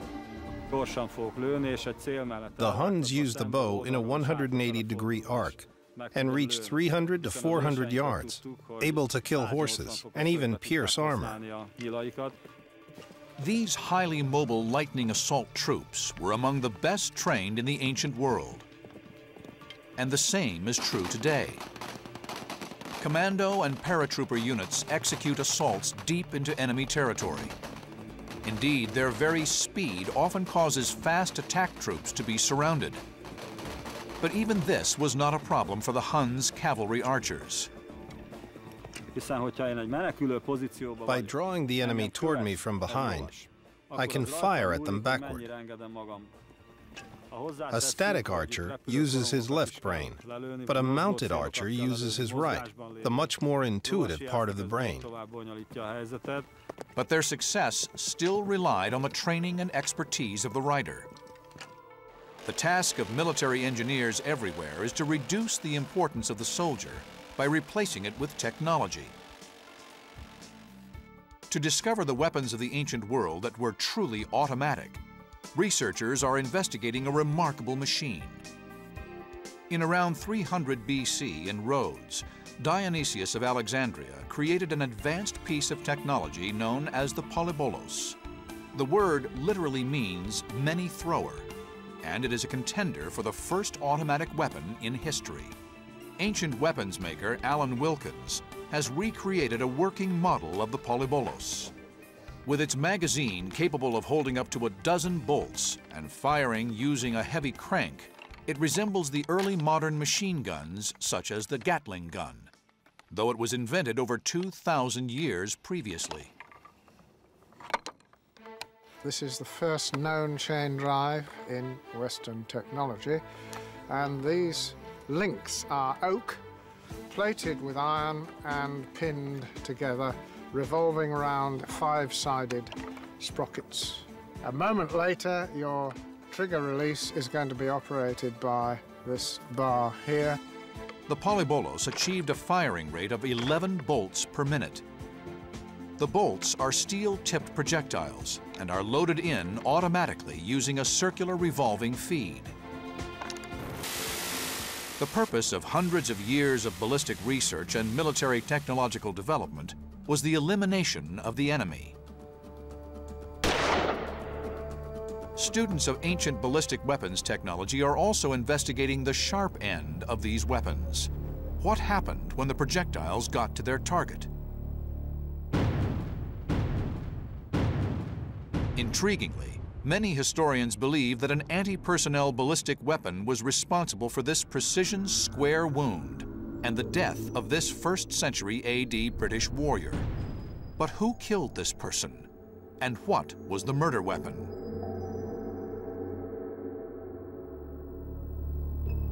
We have tracked down the ancient skull to Dorset County Museum in southern England. For the first time, we will seek to subject the skull to 21st century scientific analysis to unravel this mystery. When I was growing up in Dorchester, I saw these skulls, I saw um, the, the exhibits in the museum, and one of the things that, that really um, took, took my interest um, when I was very young was, was how were these injuries inflicted? Um, what caused this damage? To establish exactly what weapon was used to kill this man, we have enlisted the help of forensic scientists who normally attend crime scenes. When we scan the skull, what we want to do is to be able to take a three-dimensional model that we can create a facial reconstruction. This is a adult male skull. It's in quite good condition considering the period of time from which it's come. There you can see quite a lot of fragmentation of the skull where it's been put back together. And there's the obvious uh, hole on that side um, caused by some injury. Looks like a, a penetration wound. Um, we can't tell exactly when this happened, but sometime around his death. We don't know that it was a fatal blow, but it looks like it certainly would have been fatal if he'd been alive when he received it. Um, but you can see that it's not a post-mortem wound. This forensic evidence indicates that the trauma might be the result of a Roman super ballistic weapon. This is a Roman bolt head from 2,000 years ago. Uh, you can see that it's uh, consistent with the type of wound that we have here on this skull. So this would be consistent with the type of weapon that could have caused this trauma. The question puzzling the investigators is what specific weapon fired the bolt? I think there's only one explanation for an injury like that, and that's a Roman catapult bolt. Ancient weapons makers Alan Wilkins and Tom Feely have created Roman bolt shooters based on the blueprints and sketches from the period. This is the standard Roman bolt shooting catapult, which was used right through the period of Julius Caesar, right through the invasion of Britain. This ancient superweapon was known as a chiroballista and is the pinnacle of Roman ballistic technology. It is a small, highly maneuverable machine that relies on torsion technology for its power. This is so powerful that you need a windlass to pull it back and we estimate on this machine that the pullback must be around one ton. It's really a robotic archer, and this metal trigger is an imitation of the archer's fingers that are going to capture the bowstring and pull it back.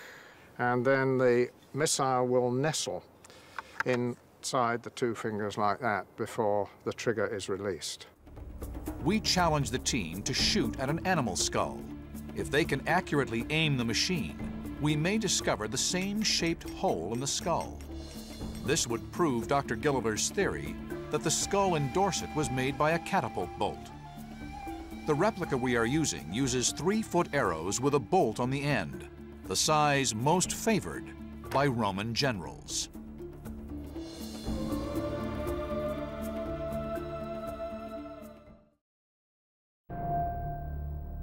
Scientists are attempting to solve a 2,000-year-old enigma. Analysis of this ancient skull has revealed a mysterious fatal wound. It's presumed to be a British warrior, possibly killed during the Roman siege on Maiden Castle in Dorset, England in the 1st century AD. An investigation is attempting to establish the murder weapon. Our team of weapons experts is about to test the most likely suspect, a Roman chiroballista. Will its three-foot bolts cause an identical wound to this animal skull?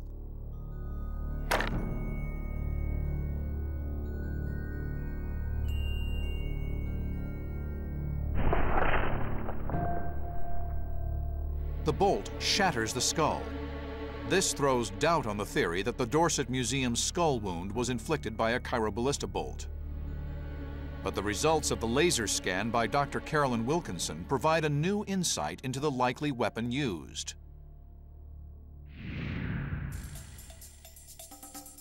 The analysis reveals that the injury hole is at a slight upward angle. The catapult bolt would have had to enter the man's head from below. But the trajectory of a chiroballista bolt does not fit. A bolt flying through the air would be coming down on the victim, not upwards. The chiroballista bolt drops down the list of likely suspects. No a standard issue weapon carried by the Roman infantry was a pilum, a type of heavy javelin.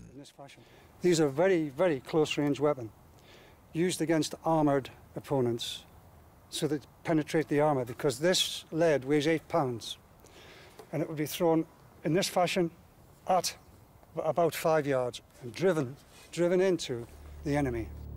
We put the pilum to the test. If the hole in the skull can be shown to be made by a pilum, the team will be closer to a verdict as to what killed the skull's unfortunate owner.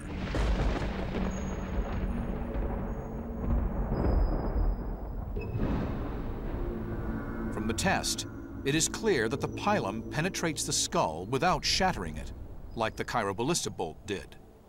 But there is a problem with this theory a javelin or spear, when thrown, would be on the down part of its trajectory when it hit the enemy. The wound was clearly made by a weapon from below, yet the hole matches perfectly. The sort of hole one would expect from a pilum end. Tom Feely has proposed an explanation. A tactic employed by the Celt against the Roman army was to play dead. To counter the enemy's faking of their death, the Roman soldiers would thrust their spears into the heads of the enemy lying motionless on the ground. In this case, creating this square puncture hole through the skull, penetration of the brain, a fatal injury. From our test, it reveals that both the angle and the subsequent wound match our forensic analysis. A skull with soft tissue, a living skull, will respond very differently to a dry skull, one without soft tissue um, which is how we can tell the difference between wounds that happen after someone's died and wounds that happen before. Um, but you can see that there's a consistency in shape. You've got a very um, symmetrical square wound here from the stabbing entry, and you've got uh, a broken surface here from the thrown wound. The results from our test and the forensic analysis has revealed that the murder weapon was most likely to have been a pilum, used to stab the victim to death as he lay on the ground. While our tests have shown that the skull wound was not caused by a ballistic weapon, the process of doing the experiment has demonstrated the lethal power of projectile weapons. And other experiments and investigations have revealed the devastating potential of ballistic science. Heavy siege artillery, such as trebuchets, anti-personnel weapons such as rocket arrows, and highly mobile rapid-fire techniques such as used by the Huns on horseback are just some of the tactical options available to commanders. All thanks to their ballistic scientists and military engineers. But there is one weapon from antiquity that brings together all these factors. The firepower, the range, and the maneuverability. It is a weapon whose functionality would not be out of place in a modern fighting unit. The handheld rocket launcher. Ancient Chinese texts describe such a weapon from the 14th century. But debate rages as to how it would have worked and how effective it was. Today, our team of weapons makers and explosives experts are about to test the handheld superweapon of the ancient Chinese battlefield. Our daring experiment will be carried out in a remote location in southern England. This is a very dangerous test and requires hours of preparation. Model maker Richard Windley and explosives expert Charlie Adcock are setting up the test. Richard has used ancient blueprints from China to recreate the handheld rocket launcher. This is one of the smaller devices um, it's not the smallest. The smallest one was called a bee's nest, and this was a portable device. It weighed two or three pounds. A soldier could carry four or five of these rocket batteries quite comfortably. The soldier would have access to one single fuse, so just touching one fuse would simultaneously ignite the whole batch. Richard hands over the bee's nest to Charlie, who has handled explosives on many motion pictures including James Bond and Saving Private Ryan. It is a dangerous test and requires Charlie to handle the explosives away from the rest of the crew. This is probably the first time that the uh, Bee's Nest multiple rocket launcher has been fired in, uh, in modern times. Uh, we've got a barrage of 12 rockets. Um, the pyrotechnician is now fusing them up. They're about ready to go, so we're just about due to light them and see what the result is going to be.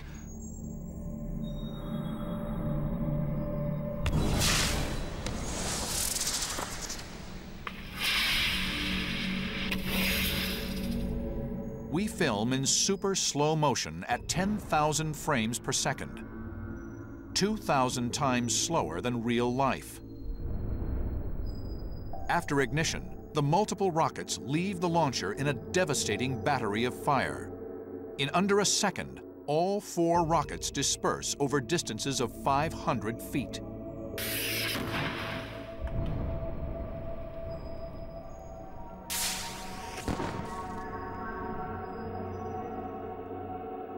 The Chinese Bee's Nest launcher laid the foundations for modern warfare techniques and provided the inspiration for today's rocket-propelled grenades.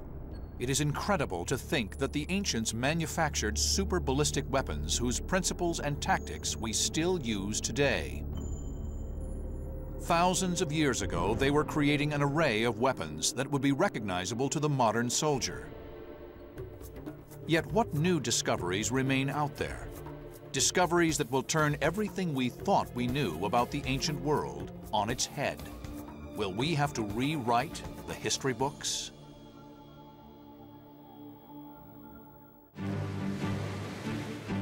The world's oceans are littered with evidence of massive earthquakes, mysterious floods of biblical proportions, ancient tsunamis, mega disasters that have destroyed whole ancient cities and made them sink beneath the waves. Now, all over the world, scientists are setting out to discover the secrets buried on the sea floor in their search for the lost cities of the deep.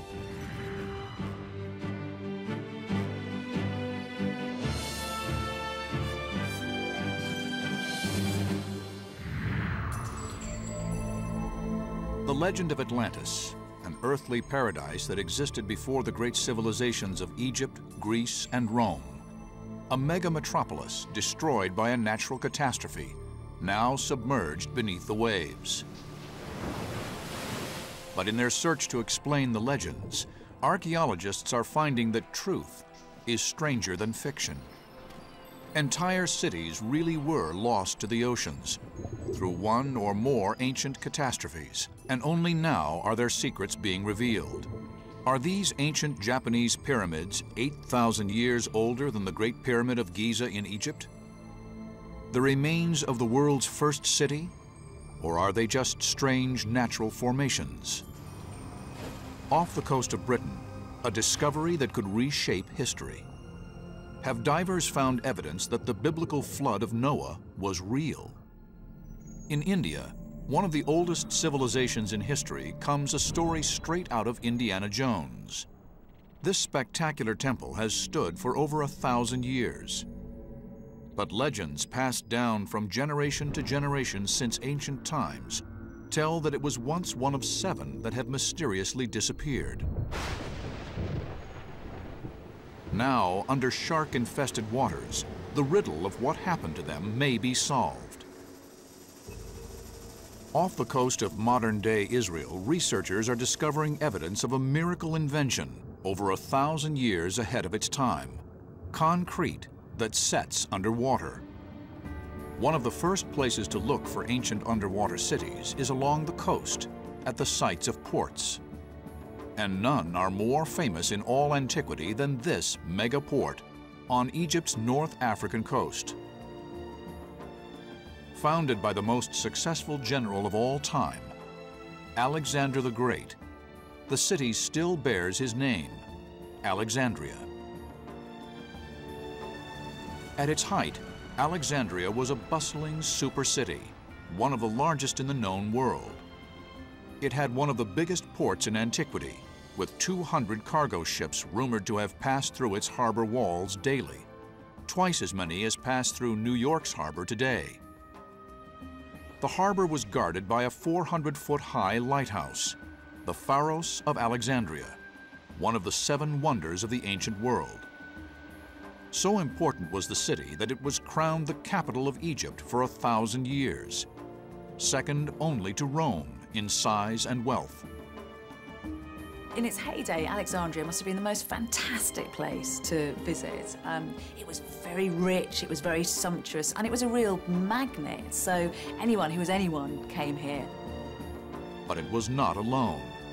Alexandria formed part of a massive built-up development along miles of coastline, not unlike the continuous band along America's northeastern coast.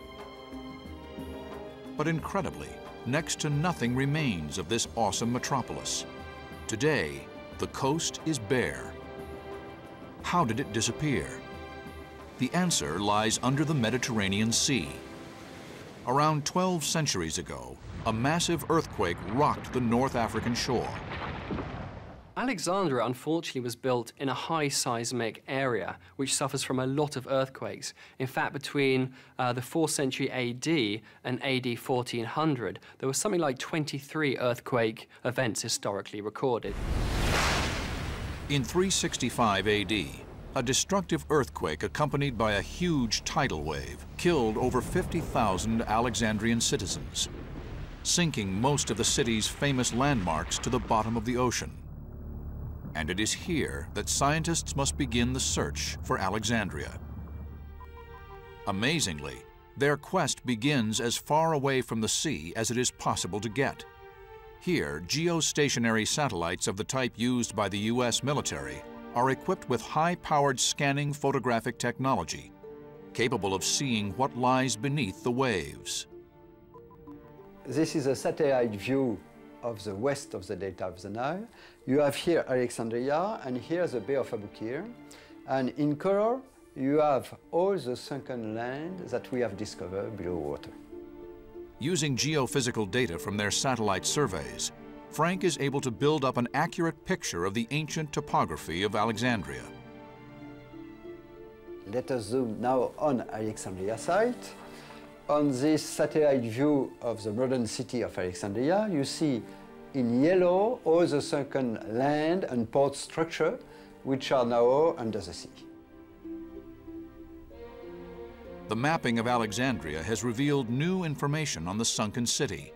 Its infrastructure is larger and more substantial than researchers had previously believed. The underwater teams diving in the area are constantly faced with the problem of pinpointing their excavation sites due to poor visibility at the depths they work. We have developed uh, specific tools uh, for positioning, like uh, underwater differential GPS, which a precision of a centimeter, and it's extremely efficient for contours of land and etc. When you are doing an, a specific excavation, we put grids like on land and it's, it's easier, of course. Without this technology, Franck and his team would be unable to mark out underwater grids that are excavated one at a time. It's a meticulous process that takes great patience and care.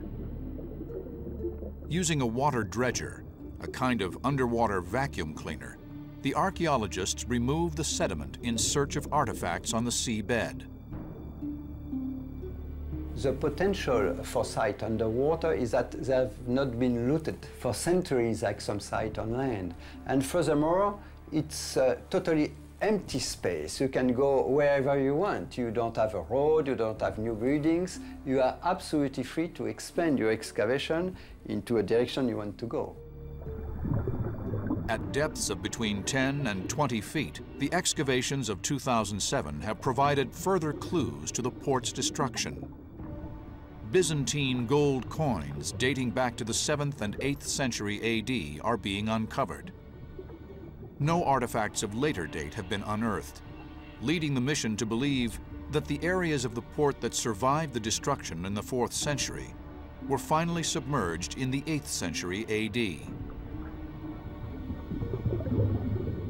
But it is not only small objects like these beautifully preserved golden rings that the team is discovering. Egypt's underwater sites are littered with large sunken treasures, including sphinxes, statues, and stone blocks, complete with royal signatures and hieroglyphs. On Antirhodos Island, we have discovered a small sanctuary of Isis with beautiful statue of a priest of Isis, very well preserved sphinxes. Uh, on the Poseidon, we found a full uh, wall temple. The new findings echo the descriptions of Strabo, the Greek geographer who visited the city in 25 BC. Unlike ancient sites on land, the artifacts waiting to be discovered underwater have for centuries been free from looting, offering archaeologists a fascinating insight into Alexandria's once glorious ancient past. The team has discovered over 10,000 artifacts from their 3,500 dives, but this is only the start. The work is ongoing, so there's still many, many more treasures down there. Um, but in a way, I think that's one of the romantic things about Alexandria. It's almost like Atlantis. It, it really is a lost city. But despite its fame, Alexandria is not the largest port in antiquity to mysteriously disappear. Off the coast of Israel, archaeologists are searching for evidence of a huge harbor wall. Hundreds of blocks, some weighing up to 50 tons each, lie on the seabed and are believed to be part of a 2,000-year-old megaport. The New York harbor of its day that lies 25 feet beneath the Mediterranean. Can our team of underwater detectives unravel the mystery of the disappearance of the ancient world's largest harbor and unlock its engineering secrets that have been lost for thousands of years? Secrets that could revolutionize our understanding of technology in the ancient world.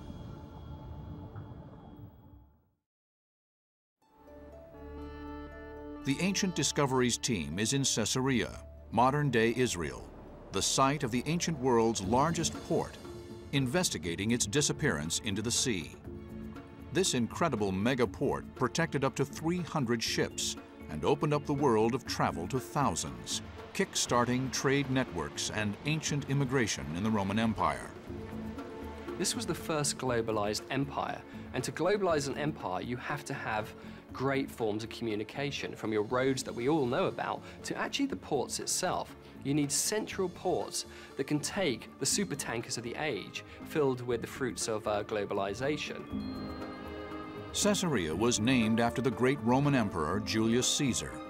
Was built by the Jewish king Herod to be the major port in the Roman Protectorate Judea and the largest port in the eastern Mediterranean. The harbor itself was unbelievably huge, big. Nobody could see such a big uh, structure worldwide. It was the largest structure on Earth at the time. 90,000 square yards, that's a huge area. Trade from as far away as Burma flowed across Asia and the Middle East to satisfy demand in the major European cities of Athens and Rome. This trade needed a mega port. Thousands of men were recruited from all corners of the empire to begin the 12-year project. He created uh, water breaks that was 180 feet wide, huge. You could uh, have a highway on top of it. And uh, uh it extended deeply to the sea, almost half a mile into the sea. The eastern Mediterranean can be rough. A powerful wind blows up from the continent of Africa every summer, whipping the sea into a frenzy.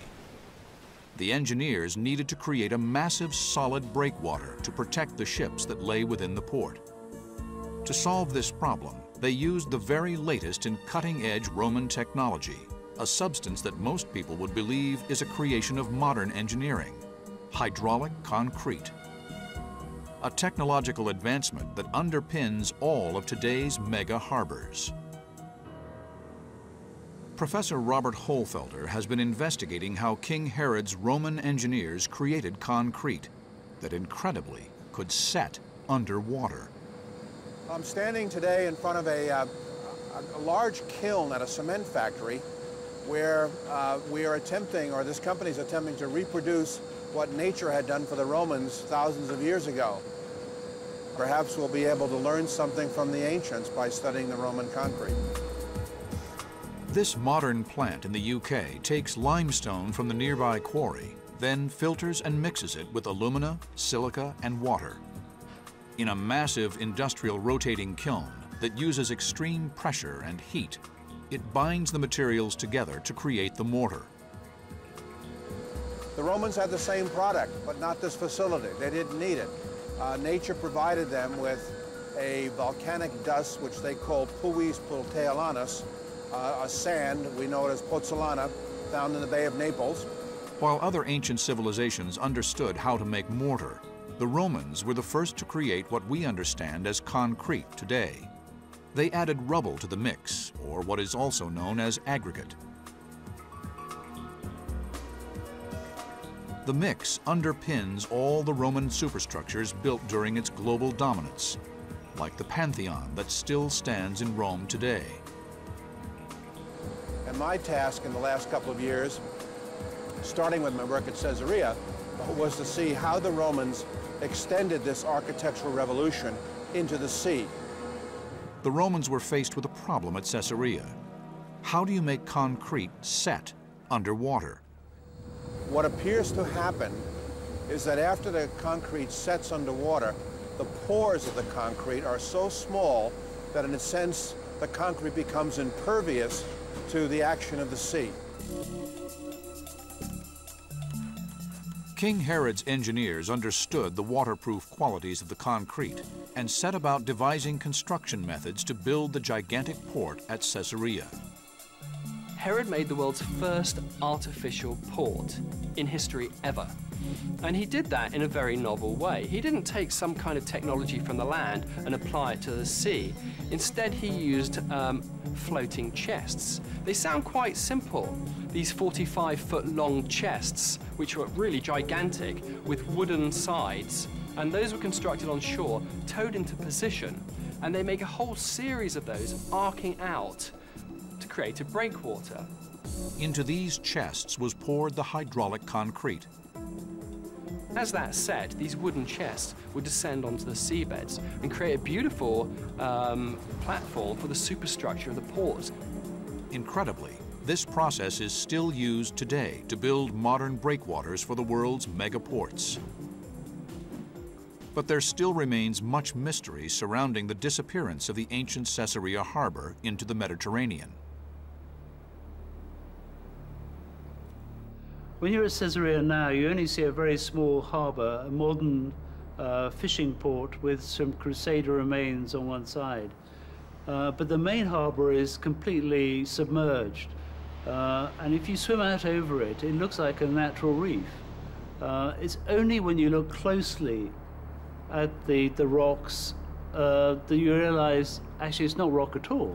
It's, uh, it's concrete under a marine concretion. Dr. Ehud Galili is one of the world's leading underwater archaeologists and has been researching Caesarea for the last 25 years. His main focus has been to search for clues to the mystery of the port's destruction.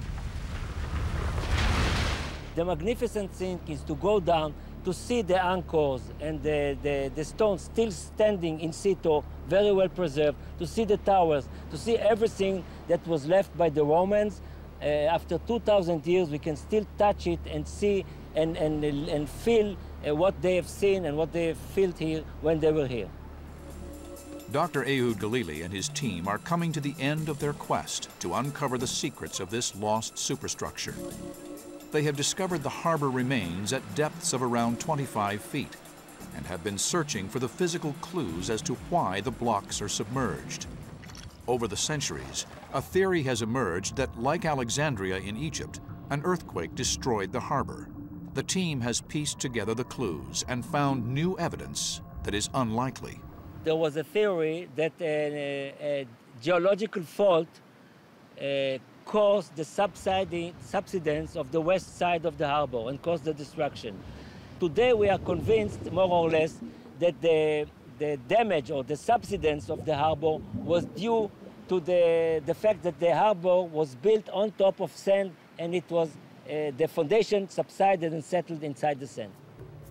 Evidence from the seabed is suggesting that the ancient world's first artificial harbor, built with hydraulic concrete, gradually sank over a hundred years before it was lost to the sea. The world's first high-tech megaport simply sank because it was built on sand. But ports are not the only megastructures that underwater detectives are exploring. In India, the hunt is on for the legend of seven temples, one of the world's most mysterious cities in the shark-infested waters of the Indian Ocean. The Bay of Bengal, 800,000 square miles of shark-ridden waters. Predators lurk, including the notorious man-eating bull shark, waiting on their next meal. It is here that tropical storms with rotating winds blowing at speeds of 80 miles an hour bring cyclones and storm surges to the coast of India. On its southern coast, local myths tell of a lost ancient city submerged beneath the waves. A metropolis littered like the legendary Atlantis with palaces and temples. The myths of Mahabalipuram have been told for thousands of years, but were first set down in writing by William Chambers, a British traveler in the late 18th century. The writings tell of a once flourishing ancient city, known to those who visited as the lands of the seven pagodas. William Chambers was the first person to pick up all these strands of these stories and point out that actually we can only see one pagoda today. Was it made up? Was this one pagoda so beautiful and stunning um, that it got extended into figure seven, which has always had a supernatural religious importance? Or, as he suspected, did the other six pagoda temples slide at some point beneath the waves? The myths still repeated by local fishermen today, speak of six temples submerged beneath the waves, with this temple found on the shore the only one of the seven still visible. There were once seven temples. Six of them are now underneath the water. Everyone believes they are lost temples. Ancient texts have revealed to archaeologists that Mahabalipuram was once a flourishing ancient port that reached its apogee in the 8th century under the rule of the Pallava kingdom. This powerful dynasty ruled southern India for 600 years, growing rich through the control of important trade routes linked to the spice trade of the Far East. In the ancient literature, Mahabalipuram is described as a very important port town. Of course, as on date, we do not know where this port was located. Today, Mahabalipuram is a bustling town with a population of nearly 12,000 and contains intriguing clues for archaeologists searching for the lost temples about the town's glorious ancient past as a thriving city. These beautifully preserved ancient structures, known as the Five Rathas, date back to around the 7th century and were built at the same time as the missing temples. The complex is carved out of a single piece of granite rock, a technique that was used for over a thousand years by Indian architects and engineers. One of the most impressive structures to adorn the town is one of the world's largest bas-reliefs and also dates back to the time of the missing temples. This magnificent relief, carved in the mid-7th century, measures nearly 100 feet long by 45 feet high and covers an entire hillside. But it is this structure that may hold the key to the whereabouts of the lost temples. Known as the Shore Temple, it is one of the world's greatest ancient treasures and a sacred site that has attracted worshippers for over a thousand years. Local people believe that this is one of the surviving temple. Remaining temples have been damaged or they have been lying submerged in the sea.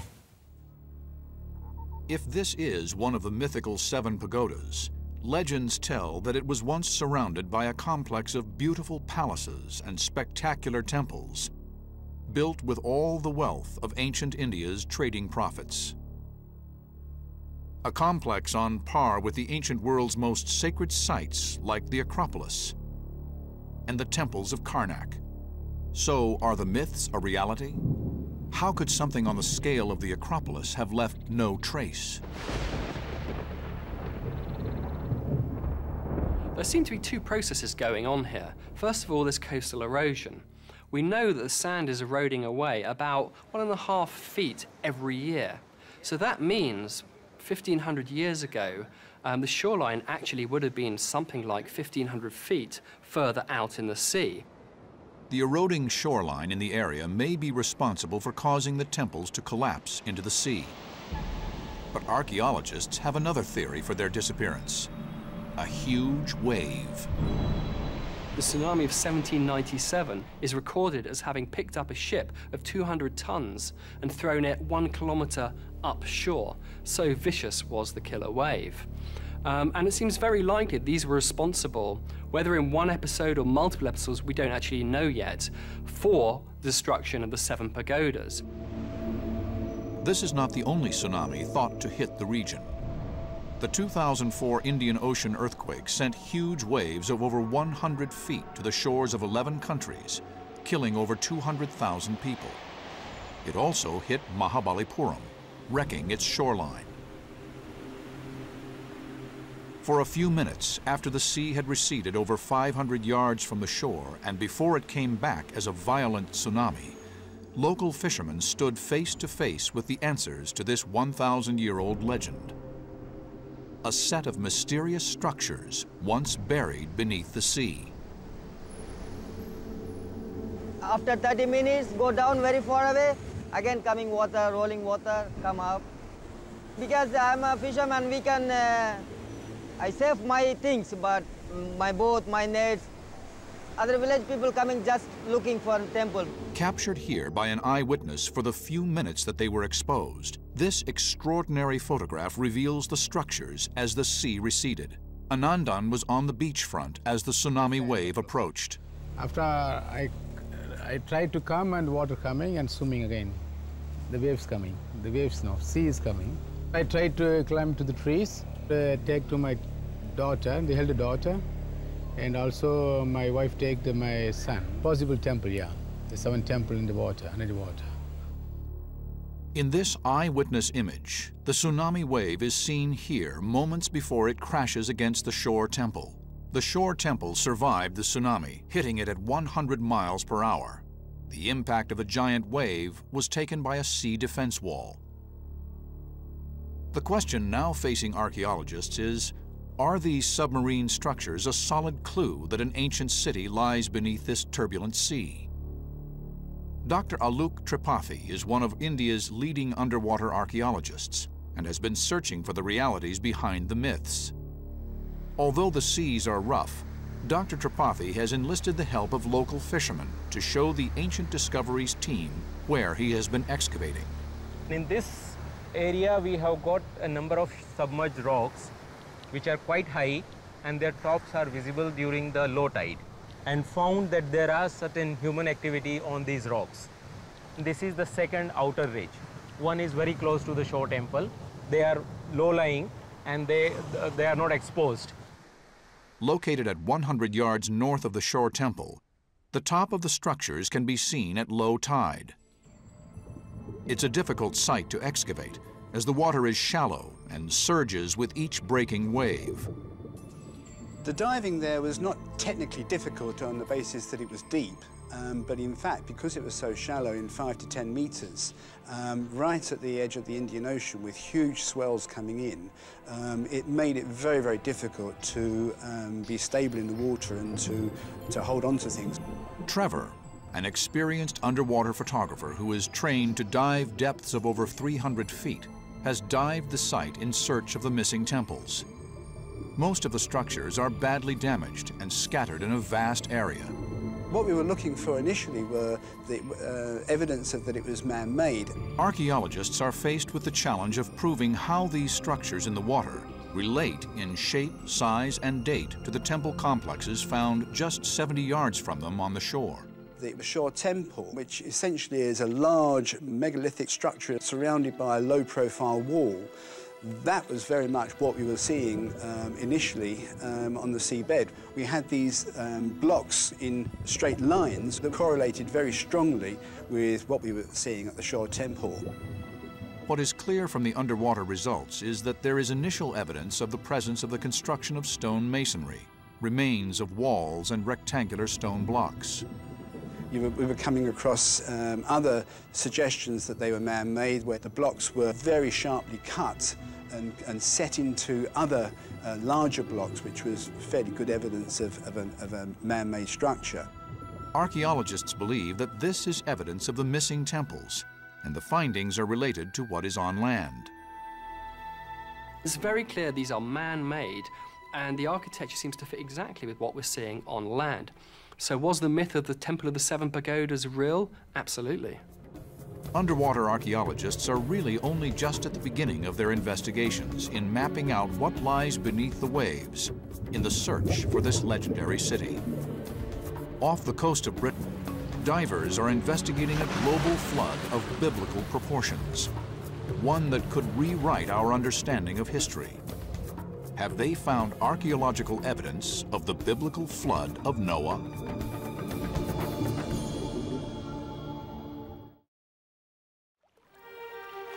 Myths and legends of cataclysmic floods exist in all ancient cultures, such as the famous legend of Noah and his ark.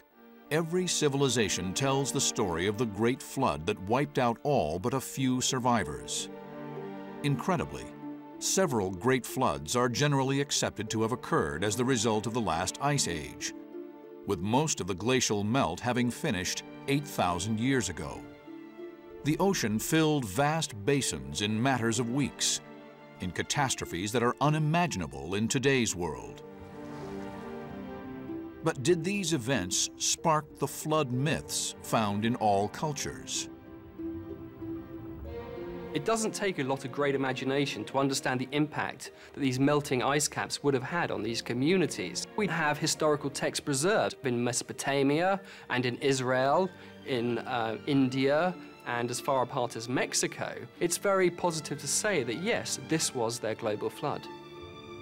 Divers off the coast of Britain have discovered intriguing evidence of a town submerged beneath the sea that may hold the secrets of the mythical flood. Right off the south coast of Britain is a narrow 40 feet deep strait between the mainland and the Isle of Wight. The Isle of Wight at the moment is possibly one of the most enticing, fascinating sights in England. The divers drop into water, the temperature of which can drop to 46 degrees. The work here is dangerous. The current in the straits can reach 3.5 miles per hour, a good human swimmer would have to swim with all their strength just to stay still. At the seabed, they reach the site. That black patch is all burnt. This is where the fire was. The base of the fire was here. Dr. Gary Momber is leading the investigation. I discovered this underwater settlement after looking for it about two and a half years ago and discovering part of a hearth, a fireplace underwater the strata, the levels are very, very narrow. And, you know, whereas on land you could use a pick um, to excavate a Roman town, for example, if you use similar um, methods underwater, you'd go through an entire thousand-year level. The team has marked out a grid on the sea floor. They carefully analyze each square's contents, looking for evidence of human activity. Just here, we might be able to see evidence of more burning. They remove the sediment from the seabed in search of artifacts. Over thousands of millennia, the underwater environment has preserved the clues. Back at the surface, samples are sieved. But what evidence will the mud reveal? Uh, what I got here is a little flint tool. It's been deliberately made uh, from a, a block of flint They've shaped it and chopped this bit out, and now they can use it as chopping implement. Um, it's very fine, very distinctive marks on the side, and it also looks like it's been sharpened. Um, it was found next to this piece of wood, and this piece of wood also has cut marks in it. Now, I suggest it's probably used for food making, and on it, it's got some cut marks straight across the top here. It's been sliced off. Now, that was buried deep in the sediment over 8,000 years ago and it's just been recovered and you can still see the cut marks on it. Other samples have produced further evidence of human settlement at the site dating back eight millennia. But what suggestions are there that the residents here were evacuated during a cataclysmic flood 8,000 years ago? There's a human activity layer under there. Yes. All these mollusks eat their way through it. Oh, I better not smudge your work. We have the old landscape, we have it covered in vegetation and trees, we have the underlying geology, and above that we've got marine sediments, which show exactly when the sea came in and how it did it. And we've got the dates for that about 7,950 years ago, I'd say. This site dates to around the Middle Stone Age, the Mesolithic. They were hunter-gatherers who moved across the landscape following the rhythms of the, the seasons. The evidence found at the site reveals a time before the English Channel existed and when Europe and Britain were joined. But after the melting of the ice caps, which covered most of northern Europe, sea levels started to rise and the settlement was buried beneath the sea. The Isle of Wight site is strong evidence of human settlements being destroyed by ancient floods. But these legends relate stories of whole cities being destroyed. What evidence is there of ancient mega-cities being wiped out by floods or rising sea levels? Off the coast of Japan, a furious debate is raging. 80 feet below the surface, at a place called Yonaguni, lies a mass of provocative evidence.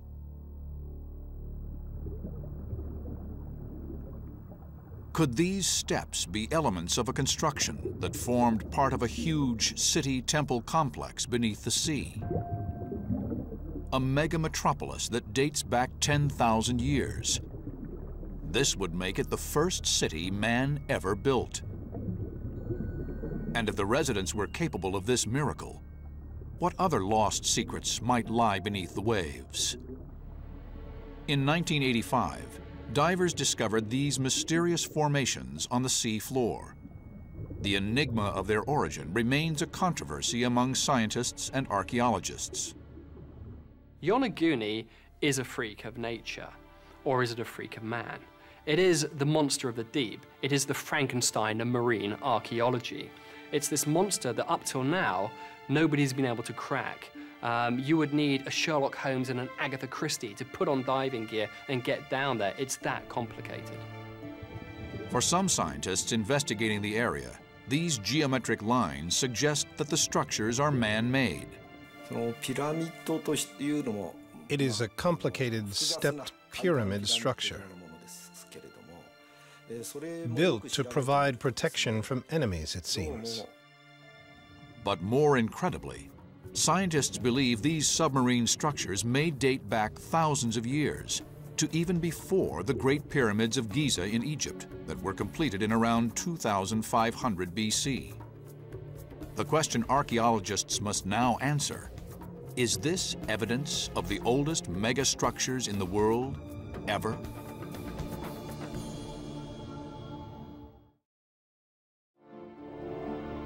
Underwater archaeologists are investigating off the island of Yonaguni in Japan whether these huge submarine formations are evidence of the oldest man-made superstructures predating the great civilizations of Rome, Greece, and Egypt by thousands of years.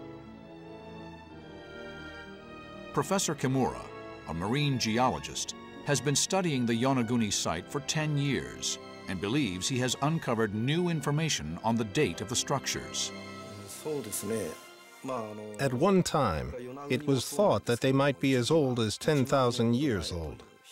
But as we have accumulated more evidence, I have come to think that it was constructed over a period of time between 3,000 to 5,000 years ago. But other researchers have doubts about its age.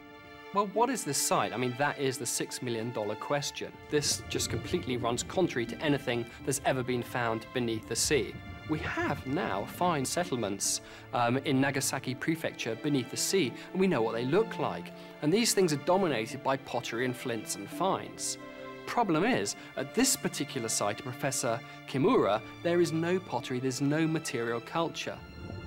What has amazed scientists studying the area, but also led to doubts about its existence as a man-made site, is the pure scale and size of the structures lying beneath the waves. The biggest structure is 600 feet wide and 90 feet high. When you go down eerily under great visibility on Yonaguni, you have this massive site which initially looks like a pyramid in the deep.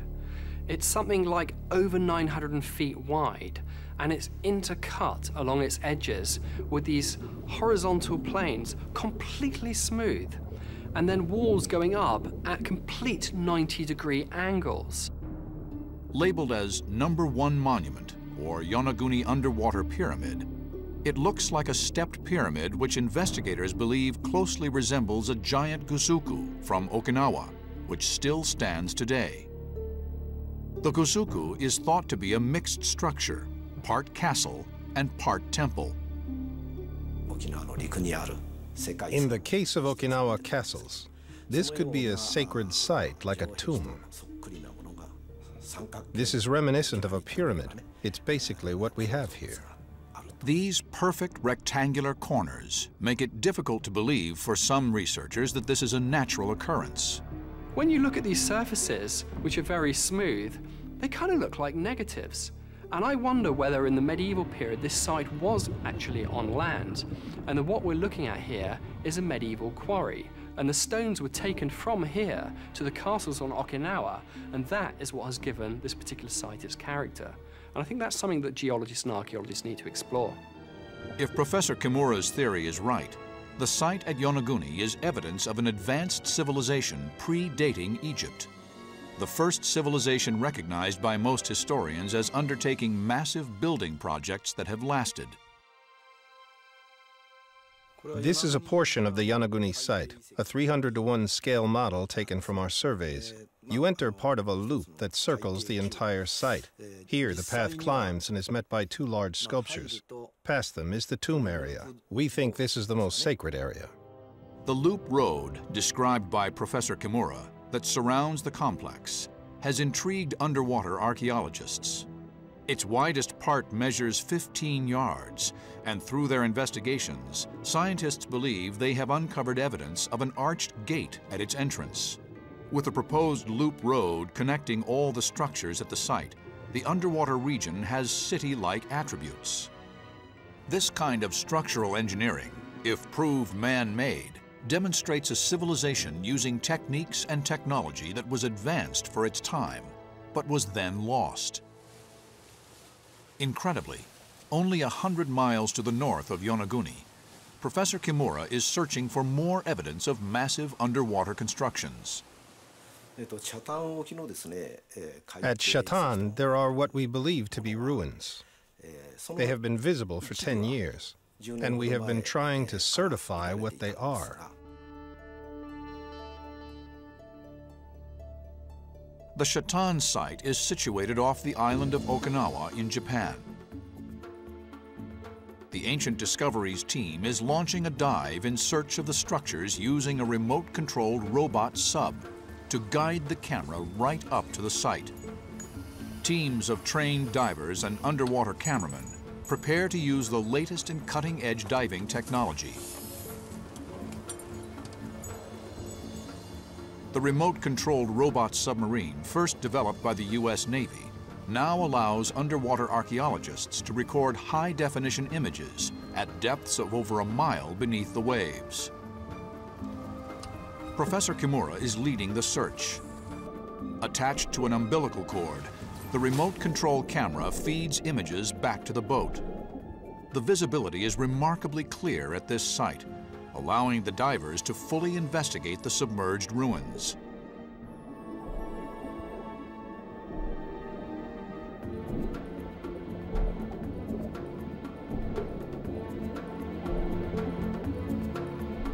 Approaching the site, they find the structures that are believed to be man-made. Underneath the barnacles and coral, the divers investigate the wall-like formations. Professor Kimura believes the structures they are investigating at the site are similar in their construction pattern to those found on land at Shuri and Nakagusuku. What we are seeing here is something like a castle or a fort. In China, there are structures like stepped pyramids, and this resembles them. There is also a marked resemblance to the foundations of castles at Shuri and Nakagusuku. Could castles like this have once existed thousands of years ago on the islands of Japan, only to be lost to the depths of the ocean? Were they the centerpiece of a lost city?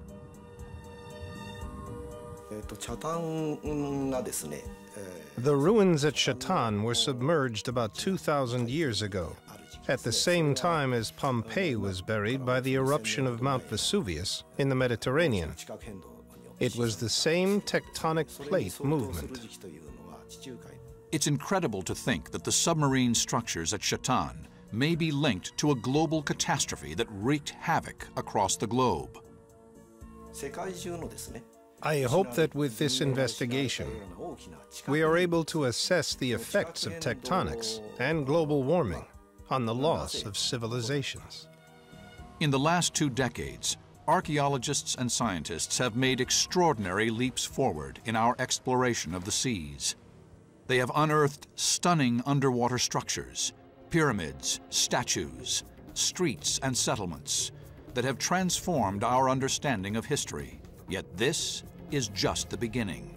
We think we know everything about the sea, but actually we've only just started to scratch the surface. In fact, we know more about the moon and the face of Mars than we do on the world's oceans. In what remains of the 21st century, our greatest ancient discoveries will not come on land, but at the bottom of the sea. And with the continuous rise of sea levels through global warming, will our modern-day megacities one day also become submerged beneath the waves?